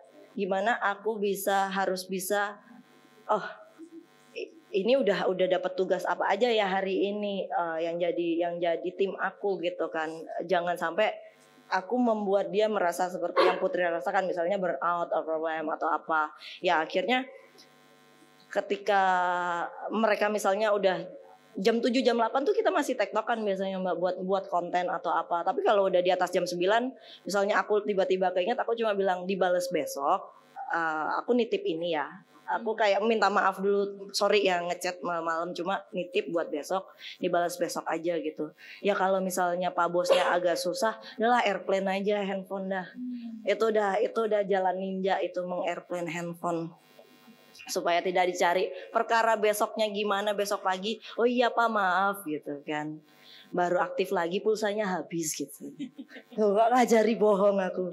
Sorry ya terus aku mau jawab eh, Putri tadi sempat nanyain gimana sih caranya supaya nulisnya bagus diksinya bagus kosakatanya bagus. Oke jujur saya juga otodidak menulisnya ya. Cuma mungkin wak- waktu kayak kayak ngerjain ngerjain skripsi ataupun waktu bikin buku bareng sama teman-teman di angkatan itu kebantu banget sih sama Mas Jun yang ngajakin ayo dong teman-teman bikin bikin buku dong ayo dong nulis masing-masing punya artikel yang kemudian digabung gitu. Itu mancing banget untuk untuk kayak iya ya kayaknya seru juga gitu. Akhirnya yang paling penting sih yang jelas baca sih.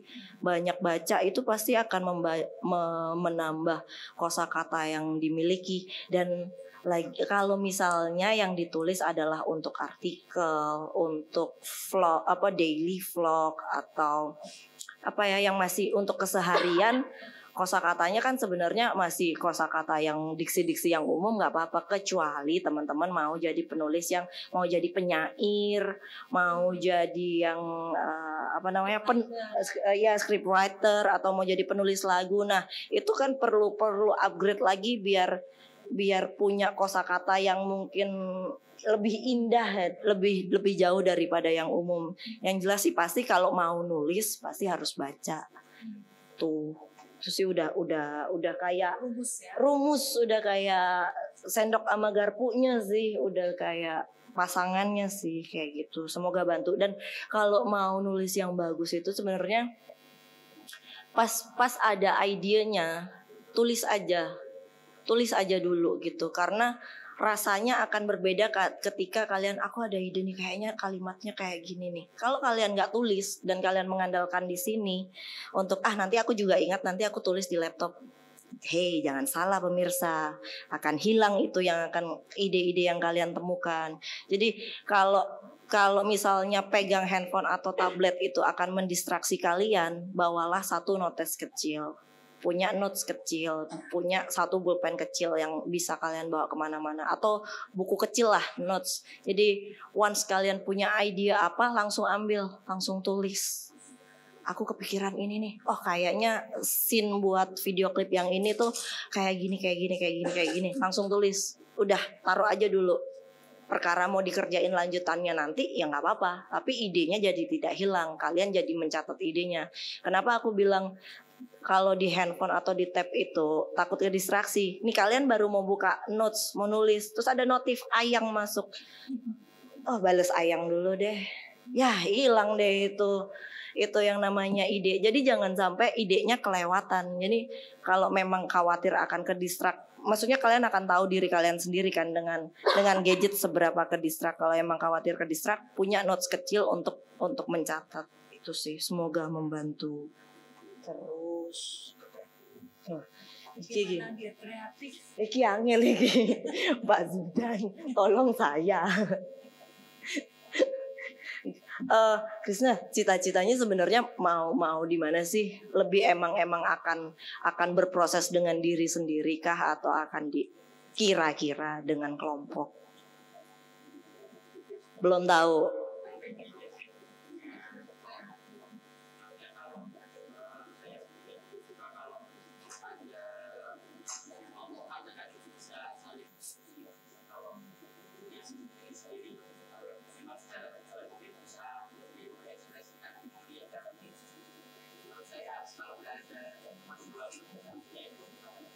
Oke, oke berarti nanti nanti kalau bikin perusahaan kayak aku aja bareng-bareng co-foundernya ada lima. jadi jadi nggak pusing ketika satu buntu ada satu lagi yang ngawalin. Soalnya agak agak bingung juga nih mbak saya jadi buntu juga kreatifnya nih mau jawab nih. jangan jangan dipaksa sih sebenarnya kreatif tuh kan iya nggak dan sebenarnya kan kayak kita nggak punya kalau demam ada ada termometer. Kreatif meter itu kan sebenarnya kayak nggak ada juga gitu loh. Kita nggak bisa nggak bisa declare aku anaknya sangat kreatif aku anaknya tidak kreatif. Kadang yang kita pikir di diri kita biasa aja itu buat orang lain itu wow.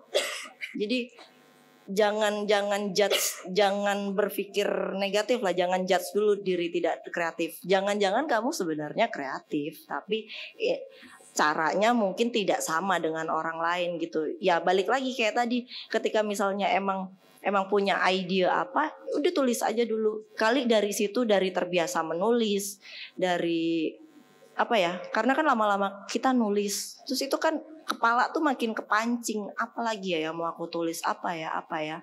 Secara nggak sadar kita udah punya punya sistem sistem berpikir lain yang akan memunculkan ide-ide yang lain kayak gitu. Jadi banyak nulis, banyak baca. Tugas-tugas yang dari dosen kerjain itu itu sangat membantu benar karena uh, ketika punya punya tugas-tugas dari dosen dan dikerjain dengan benar itu akan membantu. Satu sekarang akan membantu banget aku buat misalnya copywriting. Gimana gimana nulis kontennya mau apa aja. Akan bantu banget gimana ngelakuin risetnya. Jadi start dari situ. Dan nggak perlu nggak perlu khawatir kok semua orang ada rezekinya. Jadi jangan karena aku tidak kreatif aku tidak ini. Nggak nggak. Bisa pasti akan ada nemunya. Kan aku bilang tadi di awal aku juga di awal selesai kuliah kayak aku luntang lantung deh. Kayak freelance tuh kerjaan apa sih? Orang tua aku aja kamu tuh mau kerja PNS gitu kerja apa? Di perusahaan yang gede gitu kan. Enggak. Turns out memang mungkin jiwa-jiwanya adalah jiwa-jiwa yang menciptakan sesuatu yang makanya akhirnya sekarang uh, bareng teman-teman punya positive vibe entertainment kayak gitu. Semoga menjawab Nanti kita ngobrol lagi. Nah, ini kalau pertanyaan Alia banyak kan dia mbak kesulitannya mbak di dunia kerja. Kalau kalau kesulitan kesulitan di dunia kerja kalau misalnya di kayak manajemen talent itu sebenarnya kesulitannya adalah biarpun uh, biarpun kayak kuenya besar, kue itu dalam artian pasarnya besar. Tapi di Jakarta itu yang makan banyak dan bahkan jangan salah agen aku juga akan bersaing sama agensi yang ada di Jogja. Jadi ber, ya namanya sekarang juga udah digital bersaingnya udah makin ke mana-mana. Kesulitannya sih pasti gimana akhirnya gimana ya kalau aku kan mikirin mikirin orang lain ya mbak. Maksudnya mikirin talent gitu kan. Gimana ya biar biar si ini masih eksis? Gimana ya biar si ini dapat brand ini kayak gitu. Kesulitannya akhirnya akhirnya gimana approach lagi yang menarik mungkin kayak gitu kan. Gimana aku bisa nembus nih misalnya kan relasi relasi mungkin sudah banyak tapi menuju orang yang yang di brand itu kan tidak semudah itu mbak. Kalau maksudnya kalau relasi dari teman-teman. Nah itu kadang juga tetap ngandalin relasi kayak eh kamu masih di shopee ya?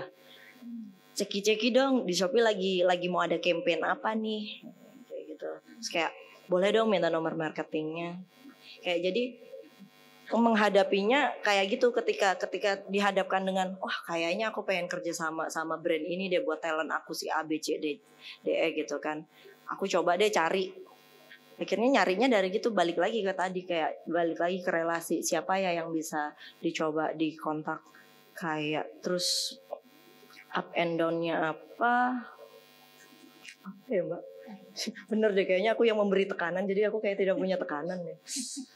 Uh, ditambahin dulu deh sama Akmal. Aku lagi berpikir dulu. Thank you. Lydia kakak Lydia. Kita beri applause dulu. Jawabannya just just just gitu ya. Sekarang waktunya Mbak Akmal ya, Mbak Anissa Akmal mungkin bisa memberikan jawaban-jawaban atas keresahan adik-adik kelasnya. Silakan. Oke, okay, um, so, kalau ini dari mulai pertanyaan pertama aja, uh, pertanyaan dulu ya dari Nisa tadi self management. Kalau aku sebenarnya nggak jauh beda sama Mbak Lydia juga. Uh, punya list punya list apa aja yang mau dikerjain hari ini itu penting banget apalagi kan kalau kita udah masuk ke dunia kerja kadang tuh yang kita kerjain sehari tuh bisa di luar dari job desk harian kita gitu misalnya tiba-tiba atasan minta report uh, apa dadakan atau misalnya ada uh, kita harus ke mana liputan mendadak kayak gitu tuh uh, supaya kita nggak overtime kita beneran bisa beneran penting banget untuk bikin listing apa yang mau kita kerjain hari ini. Itu juga berlaku buat teman-teman uh, selama kuliah sih karena kan ya, kayak yang tadi di awal bilang gitu loh, tugas kuliah itu kan sehari kan bisa yang ditumpuk, yang dikumpulin itu kan bisa 3 sampai 4 mata kuliah barengan. Nah, itu tuh penting banget kalau misalnya tugas atau kerjaan itu sudah di deadline sudah dikasih dari beberapa hari yang lalu itu sebenarnya lebih enak karena uh, kita bisa punya porsi nih mana yang kira-kira bisa kita kerjain duluan uh, mana yang bisa terakhiran kan ada orang tuh yang kalau kerja yang bobotnya paling berat dikerjain duluan yang paling ringan di terakhir. Kalau aku kalau aku lebih suka yang ringan dulu aku kerjain di awal baru yang uh, yang berat di akhir. Karena karena itu tuh ngebangun mood gitu. Kalau kita ngerjain sesuatu yang gampang yang ringan kita ngerasa ih gampang mah ini mah udah keren. Moodnya jadi kebangun. Jadi ketika ngerjain yang susah untuk uh, eh, nyusun nyusunnya tuh lebih ya tetap tetap sambil ngegrundel gitu. Tapi ya enak aja gitu jalannya karena kita udah dapet ritmenya di awal kalau aku kayak gitu. Terus uh, di apa namanya diwaktuin juga misalnya kayak satu tugas ini dua jam mau nggak mau harus selesai kayak gitu. Itu juga penting sih itu untuk untuk biar kitanya juga nggak yang aduh masih lama main apa dulu main apa dulu kayak main handphone dulu. Dan selama kerja tuh penting banget untuk nggak scroll TikTok ya teman-teman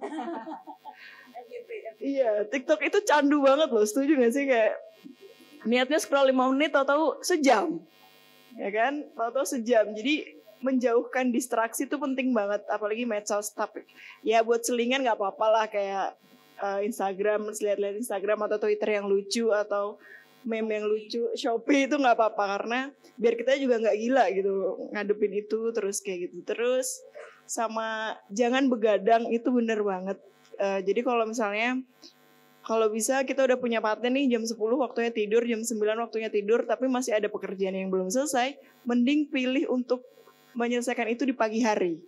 Karena ya mood pagi hari kan itu lebih ini ya, lebih lebih fresh gitu dibanding malam. Jadi mending kalau udah jam 10 belum selesai kerjaan ditunda dulu besok paginya bangunnya pagi jam 5 jam 6 nah itu dikelarin akan lebih enak gitu. Jadi kita juga nggak keterusan begadang. Kalau aku kayak gitu sih staff manajemennya bisa kemudian menulis.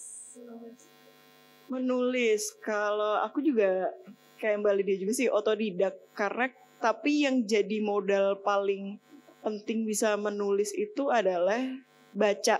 Suka baca. Baca apa aja? Baca novel baca jurnal baca apa aja itu menurut aku penting sih karena kalau aku kebetulan dari SMA tuh udah suka baca novel jadinya ketika itu tuh lama kelamaan eh, mengasah kemampuan kalau nyusun kalimat tuh kayak gini kalau kata-kata tuh kayak gini apalagi kalau sekarang karena kerjanya di media juga uh, dituntut untuk nulis juga itu lebih sekarang modalnya di handphone tuh udah bukan kamus bahasa Inggris lagi, kamus bahasa uh, kamus besar bahasa Indonesia gitu. Karena kalau kita sering baca, misalnya kita baca novel atau kita baca artikel dari media yang lain, terus kita asing dengan kata-kata itu, kita bisa nyari tuh di KBBI, oh ini tuh, oh ini artinya gitu. Karena bahasa Indonesia tuh sebenarnya banyak banget kata-katanya. Bahkan yang nggak kita dengar sehari-hari tuh ada gitu. Jadi itu bisa memperkaya memperkaya diksi kita sih supaya kita nulisnya kalimatnya nggak monoton gitu nggak nggak itu itu nggak itu itu aja karena kadang nanti pembaca juga akan oh openingnya pasti kayak gini nih. Uh, closingnya pasti kayak gini nih. Jadi kita juga uh, bisa nge-create artikel yang nggak ngebosenin kayak gitu sih kalau kalau menulis. Sama sering-sering nulis juga. Misalnya eh, kepikiran apa ya langsung ditulis gitu. Kita punya perasaan journaling setiap hari itu juga ngebantu gitu. Eh, misalnya lagi nggak lagi punya perasaan yang sedih lagi perasaan seneng tapi nggak tahu mau cerita ke siapa-siapa jangan dipendem guys. Nanti mental health loh kalian. Jadi mending dituangin di nulis gitu. Jadi kayak nulis diary itu sekarang kan udah nggak ada ya. Orang-orang kayaknya udah jarang banget bawa diary. Jadi not di handphone tuh bisa jadi latihan tempat sampah kita buat ngeluarin pikiran sama eh, belajar buat ngerangkai kata-kata. Itu nanti di skripsi juga ngebantu banget tuh kalau misalnya udah sering nulis nanti pas penyusunan skripsi itu jadi lebih mudah kayak nyusun kalimatnya kayak gimana kalau kita ngutip di buku atau di jurnal orang lain supaya nggak plek tiplek tiplek tuh kita punya cara sendiri nih buat eh, bikin menyusun kalimatnya tanpa ngerubah maknanya. Kayak gitu sih.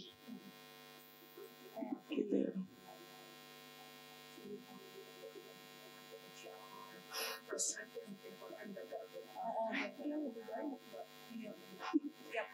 Iya benar. Eh, tadi buat bunga yang nanya biar nggak burnout pas bikin konten gimana? Istirahat dulu kita. Istirahat dulu bener. Kalau apa?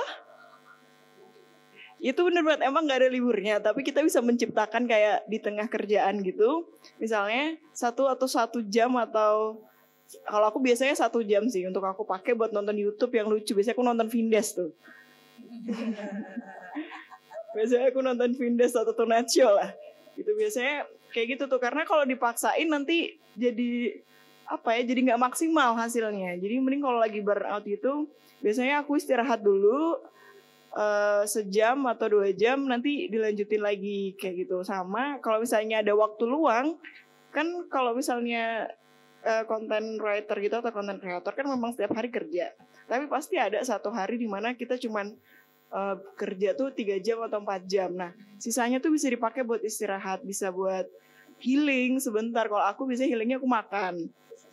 Lagi makan apa? Self reward gitu lah. Gila, udah udah seminggu bekerja, ayo kita makan enak kayak gitu. Jadi eh, biar nggak ini juga, biar ngebalikin mood recharge lagi kayak gitu atau enggak bawa kerjaan ke tempat yang nggak itu itu aja itu juga ngebantu sih buat eh, ngehidupin suasana baru supaya kita bisa ngebalikin mood kayak gitu. Kalau ada kesempatan ya cuti lah dua hari. Nggak, nggak bisa. Nggak bisa. Olahraga tuh bisa juga. Eh, atau pokoknya ngelakuin hal-hal yang bisa ngebalikin mood kita di jam-jam kerja itu sih. Kalau kalau aku ngatasin burnoutnya kayak gitu. Kemudian kesulitan dalam lingkungan pekerjaan apa ya? Kalau aku untungnya aku adalah tipikal orang yang mudah bergaul ya, jadi bisa nemplok sana sini gitu. Jadinya nggak kalau untuk adaptasi ke lingkungannya sih nggak terlalu susah. Eh, paling ini aja sih mungkin ya eh, menghadapi karena kebetulan aku juga sekarang jatuhnya juga ngebimbing eh, teman-teman yang baru junior junior gitu paling ya itu susahnya menyamakan apa ya model komunikasi kali ya. Karena anak-anak sekarang kan anak-anak sekarang kayak aku udah tua banget ya. Maksudnya yang lahiran 2000-an ya lahiran 2000-an itu kan agak beda ya ininya. Beda generasi itu kan eh, komunikasinya beda ininya beda. Jadi mungkin yang susah tuh itu. Kadang kayak misalnya niatnya tidak ngasih pressure tapi mereka ngerasa aduh kok gini sih senior. Iya senior senior gue kok kena men eh, bikin aku jadi eh, ini mental breakdown gitu atau apa gitu sebenarnya yang susah tuh itu membangun komunikasinya sih yang susah. Tapi alhamdulillah sih sejauh ini eh, lancar-lancar aja nggak nggak ada. Maksudnya dicoba terus gitu loh untuk mencari tipe komunikasi yang bagus. Kalau ke anak ini gimana? Kalau ke eh, anak yang ini gimana. Sebenarnya sama juga kayak di kuliah juga kalau misalnya kita punya teman kelompok gitu kan pasti sifatnya juga beda-beda kan. Kayak oh kita harus komunikasi sama ini gimana. Sama dosen juga begitu. Jadi eh, menurut aku ya tinggal di ini praktekin. Iya diasahnya kayak gimana aja sih. Kalau buat dari eksternal apa ya Sejauh ini sih belum sih kalau aku untuk uh, dari ekstra, tapi mungkin kalau dulu tuh sempat ada juga dari teman aku karena bikin artikel tapi kurang riset, jadi salah pasang uh, orang gitu. Ada kan diprotes segala macam gitu. Nah itu ya tinggal gimana kita apa ya supaya nggak kelihatan bego aja gitu. Tahu ngerasa bersalah tapi jangan jangan apa ya jangan ya jangan ngeliatin kalau kita salah gitu kita kita ya berkilah gitu kan kalau konten art Korea gitu kan mukanya sama semua ya untuk yang nggak tahu sih tentang Korea itu kayak gitu sih kalau aku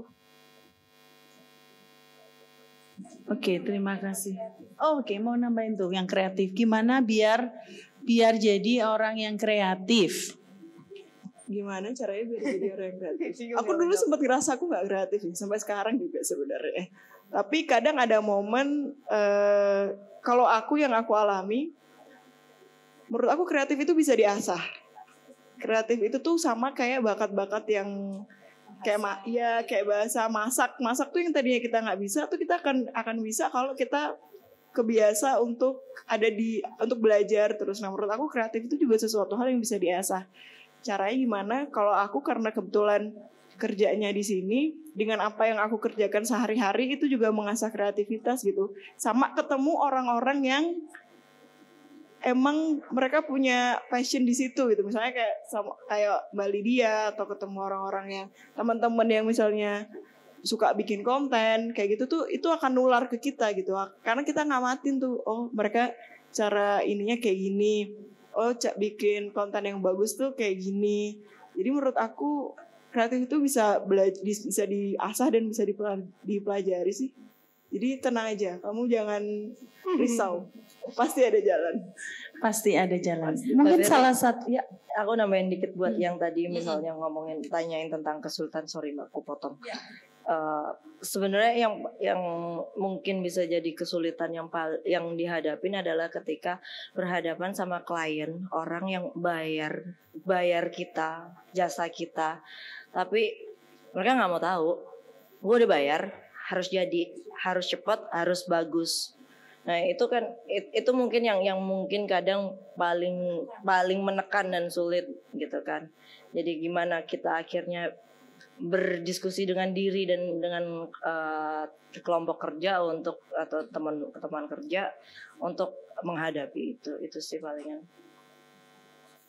Jadi karena situasi kita terlecut gitu ya, kira-kira gitu.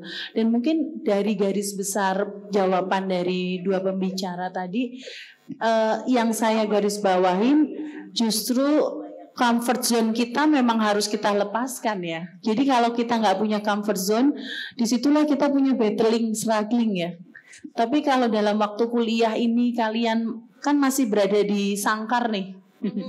sangkar yang indah ya, karena yayasan ayah bunda kan.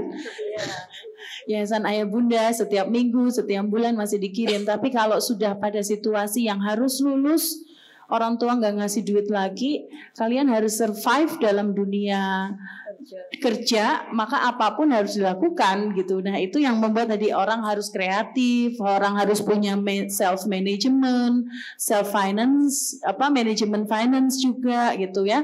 Termasuk tadi membentuk habit tadi ya itu sangat penting tadi saya sangat setuju tuh habit itu yang menentukan kita gitu jadi apa yang terjadi 10 tahun lagi itu sebenarnya kita mulai dari hari ini dari hari ini kita tuh nggak mungkin dapat sesuatu yang bagus di masa depan kalau hari ini kita tidak memulai habit kita yang bagus gitu Ingat ya, kita semua alumni di sini ya. Saya dulu juga bimbingannya Putri dan Majun lulus diuji oleh Bu Muria Endah. Jadi saya angkatan 2003 di sini semua adalah uh, apa ya uh, contoh real ya contoh real alumni dari komunikasi dan meskipun punya direksi pekerjaan yang berbeda-beda kira-kira hidup tuh ya sebenarnya gitu-gitu aja gitu. Hampir sama, hampir sama gitu kita tidak akan bisa mendapatkan sesuatu kalau kita tidak memulainya dari hari ini gitu. Oke, tadi ada enam penanya, saya buka lagi dua penanya lagi aja ya, karena ada ada delapan buku. Silakan untuk termin terakhir dua saja penanya, lalu kita sudahi pertemuan kita. Silakan angkat tangan. Satu cowok nih. Oke, satu lagi dong. Ini udah belum? Oke, dua Daus ya. Oke, cowok nih sekarang. Mbak Putri ditolong Mbak Putri itu Mbak Putri satu dua. Itu itu itu. Ya. Angkat tangan dong yang tadi mau Angkat nanya. tangan dong ya. Yang mau nanya tadi. Ya, berdiri silakan. Siapa namanya? Yang sini.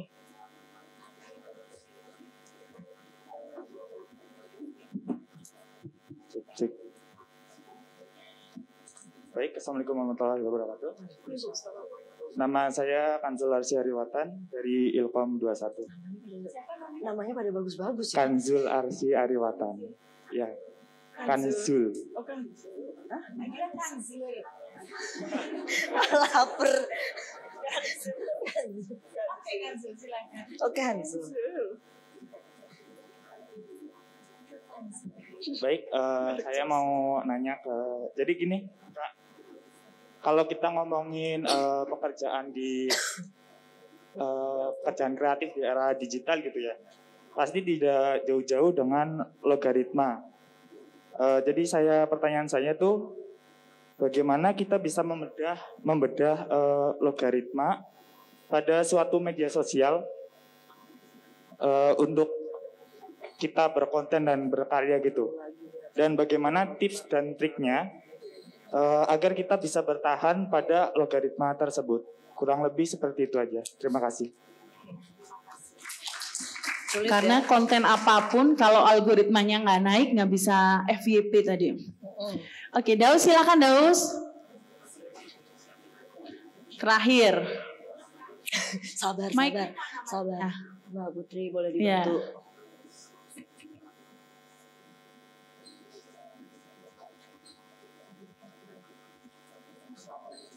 Ya. Assalamualaikum warahmatullahi wabarakatuh. Perkenalkan nama saya Firdaus dari Ilmu Komunikasi Angkatan 2002, eh, 2021. Di sini saya mau tanya ke Kak Nisa dan Kak siapa satunya? Lydia. Kak Lydia. Eh, mau tanya kayak gimana sih Kak, kasih tips ke kita semua gimana cara yang kita build our confidence di era digital yang di mana kayak hmm, mungkin sebagian dari kita itu kayak pengen gitu loh kak mengekspresikan diri kita di media sosial tapi sedangkan kita tuh masih takut kayak ntar kalau di komen kayak gini gimana sih? Ntar kalau di hujat ini gimana sih? Gitu. Eh, yang kedua kan kita kan disuruh up to date nih toolsnya itu. Ngerasa nggak sih kak kalau misal anak-anak zaman sekarang mungkin mil- eh, punya kayak komunikasi yang berbeda? Up to date menurut kita tuh malah dianggap sebagai fear of missing out alias FOMO gitu loh. Jadi kayak gimana sih caranya kita kita itu hidup di era digital tapi kita itu oke mungkin up to date tapi kita harus uh, paham gitu loh kak sama value diri kita sendiri gitu loh. Oke mungkin tren tren kali ini tuh cocok gak ya sama aku gitu. Tren ini cocok gak ya nggak cocok gak ya sama aku gitu. Jadi kasih tips aja sih kayak, kayak kita buat tampil pede di era digital terus yang kedua up to date tapi bukan berarti kita tuh FOMO. Sekian terima kasih. Assalamualaikum warahmatullahi lagi. Bener tuh FOMO ya. Jadi nggak ngerti dunia luar dan anak komunikasi ini perlu diingat itu biasanya apolitis. Nggak ngerti urusan politik, nggak mau ngerti urusan politik itu yang bikin FOMO. Yang penting viral, yang penting asik. Nah ini coba dicerangkan kakak-kakak pramuka, eh kakak-kakak alumni silahkan. Oke, kan so tadi kalau misalnya ngomongin algoritma itu kan sebenarnya eh, jauh di luar dari kita berdua karena itu ranahnya di digital marketing strategik ya.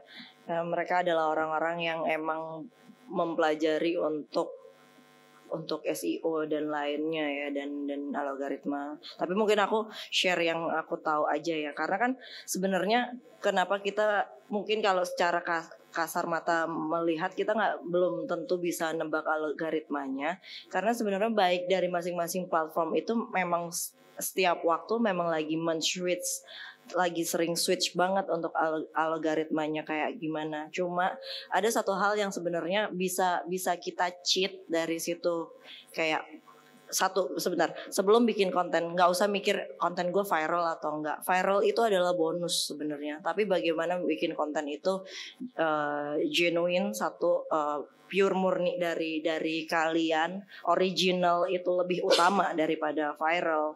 Buat aku original itu lebih utama daripada viral karena kita harus berpikirnya viral itu bonus. Dan uh, gimana untuk nge-cheat algoritma? Itu sebenarnya paling gampang gini. Soalnya anggap uh, aku pengen kontenku aku bikin video nih misalnya. Aku pengen kontenku viral. Dan aku punya misalnya teman-teman real sekarang di sini misalnya ada 200 orang. Aku minta teman-teman sekarang misalnya reshare konten itu ke story kalian masing-masing dan reshare atau tag mention ke teman kalian. Itu akan itu akan up up algoritma aku. Jadi salah satu pentingnya relasi adalah ketika misalnya teman-teman ada yang mulai buka usaha kecil, buka buka misalnya mau buka OL shop buat buat sampingan gitu kan. Share aja ke teman-temannya yang ada di sini, share aja ke teman-temannya di kelas, nggak usah malu jualan jualan itu halal. Jadi kayak eh aku punya online shop baru nih, follow dong.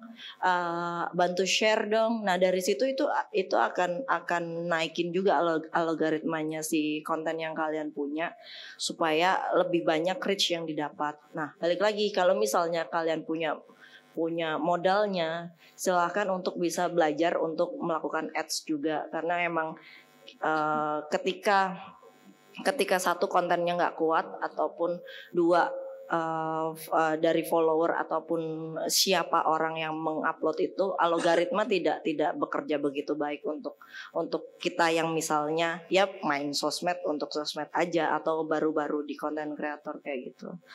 Terus kalau ngomongin ngomongin confidence uh, jangan jauh-jauh dulu ngomongin confidence di sosmed ngomongin dulu sama diri sendiri, nyaman dulu sama diri sendiri, sadar sadar apa yang dipunya, kurangnya apa, lebihnya apa, uh, jangan bandingin sama orang lain dulu. Terus kalau kalau emang mau mau eksis di sosmed kayak aku bilang tadi, bikin konten yang originalnya kamu. Kamu apa? Misalnya kamu suka nyanyi, ya udah bikin aja konten kamu sering nyanyi. Kamu sukanya apa?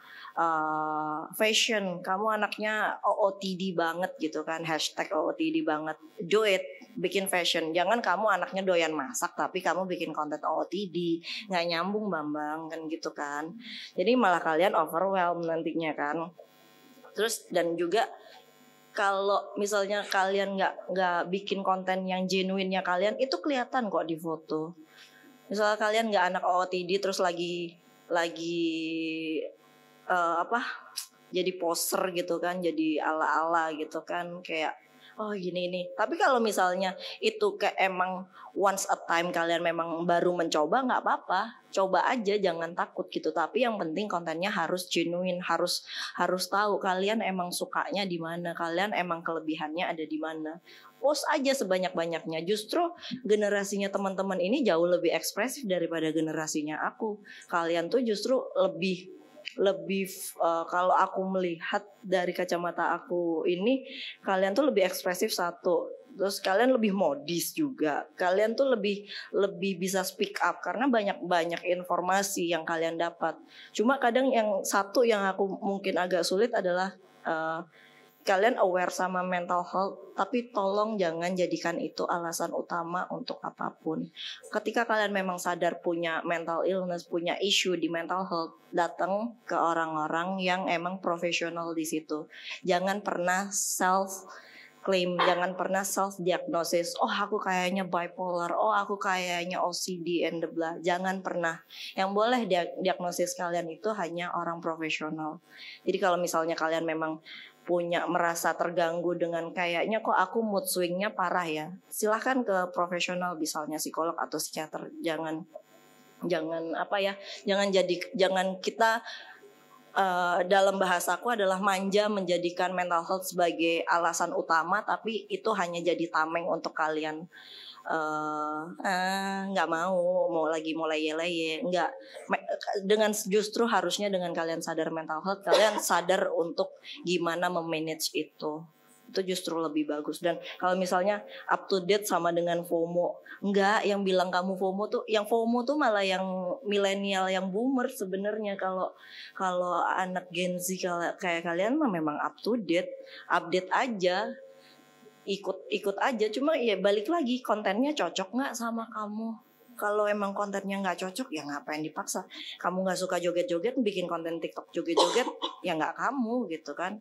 Misalnya kamu sukanya bikin video estetik ya go on lanjut aja. Video-video estetik ke ke mana gitu kan? Yang yang penting syaratnya satu original itu aja kuncinya. Thank you semoga menjawab. Ya, untuk jawabannya. Ya. Generasi strawberry ya kalau apa-apa mental health.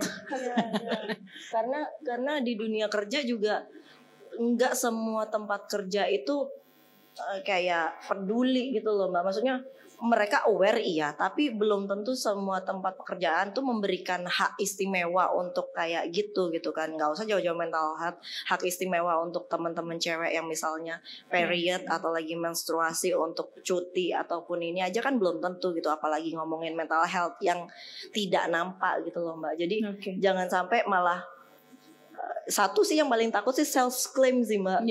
Itu paling takut terus kayak udah pakai itu jadi alasan terus bosnya marah kayak mentalku terserang Hmm. dan dan lain sebagainya. Itu apa ya nggak bagus buat kaliannya sendiri juga. Terus kayak yang ya kalian bekerja sama orang gitu kan. Hmm. mau nggak mau kita ada hal yang harus diadaptasi lagi kan mbak. Hmm. nggak bisa sakar PDW nggak boleh manja. Nggak boleh manja sih Nggak, sebenarnya. nggak boleh manja. Oke eh, Akmal ada yang mau dijawab? Silakan.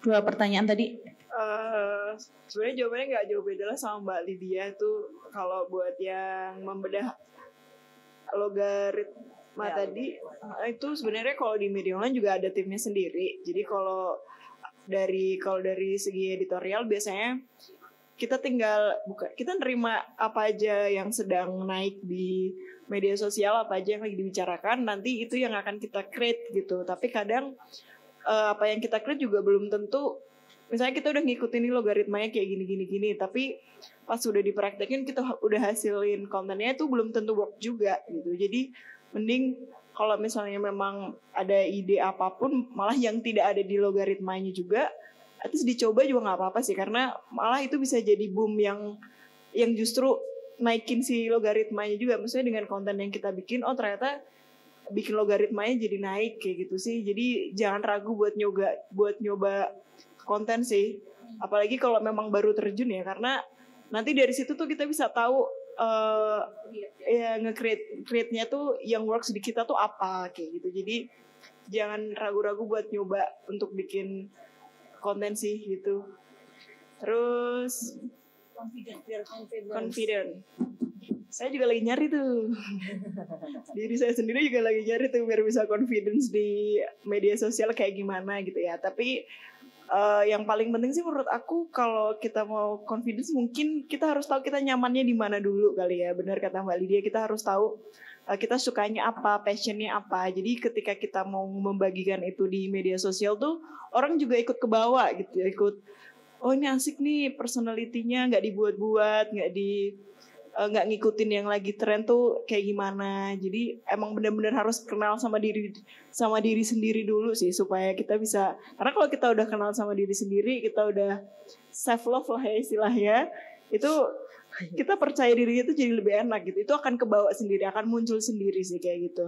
Terus tadi apalagi biar tuh FOMO. biar nggak FOMO tapi eh itu bener loh kata Mbak Lydia. Update tuh bukan berarti FOMO. Yang FOMO tuh kita. Yang yang FOMO eh, karena yang penting tuh kita tahu menempatkan menempatkan itu tuh di mana gitu. Kalau misalnya eh, kita ngikutin dunia politik kita ngomongin di situasi yang pas itu ya kita nggak FOMO. Memang lagi ininya tuh itu yang jadi yang jadi problematika itu kan kalau misalnya kita memaksakan diri ya. Misalnya lagi rame nih eh, trennya tuh lagi berbi berbian terus kita ikut ikutan berbi berbian padahal kita nggak buka padahal kita nggak suka sama berbi berbiannya itu baru FOMO yang tidak pada tempatnya gitu.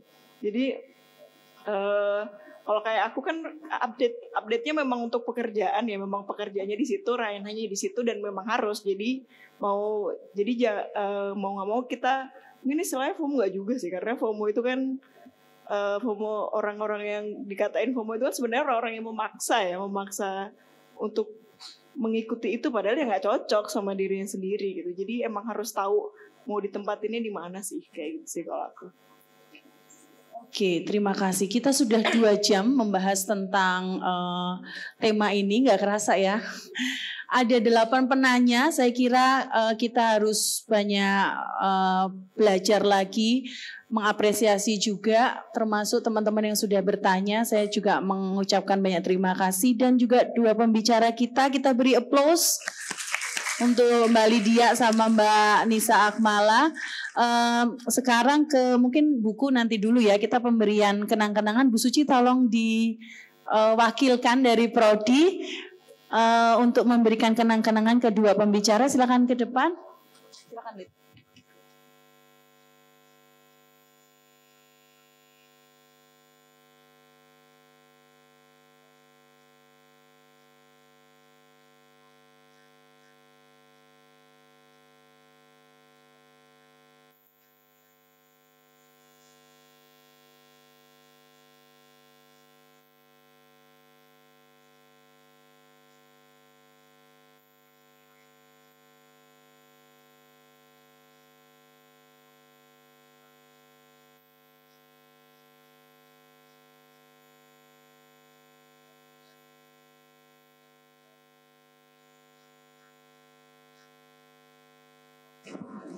Oke, okay.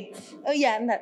Uh, berikutnya yang merasa bertanya silakan untuk maju para pembicara sama Bu Suci bisa membantu menyerahkan foto juga menyerahkan buku juga ya.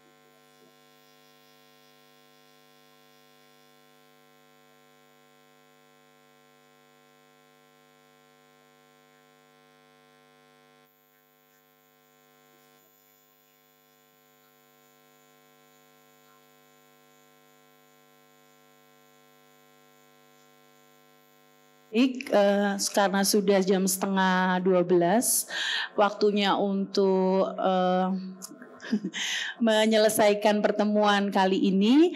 Jangan lupa bagi teman-teman mahasiswa yang berkewajiban untuk ada absensi, ada tugas ya, mohon untuk tetap update di ketua kelas masing-masing. Untuk mata kuliah saya yang ICT teman-teman kelas A dan B sudah ada absensi di my class dan di depan juga jadi ada dua absen ya. Pastikan Anda absen di depan dan di my class, tapi di my class baru saya buka jam 12 sampai jam 1. Untuk teman-teman yang lain, karena mungkin dosennya berlainan, bisa menyesuaikan dengan uh, aturan dari uh, apa pengampu masing-masing. Terima kasih sekali lagi untuk kesempatannya. Tolong di sampah-sampah bekas kalian makan dikelola dengan baik. Jangan sampai kita meninggalkan jejak sampah. Saya sudahi pertemuan kita. Wassalamualaikum warahmatullahi wabarakatuh.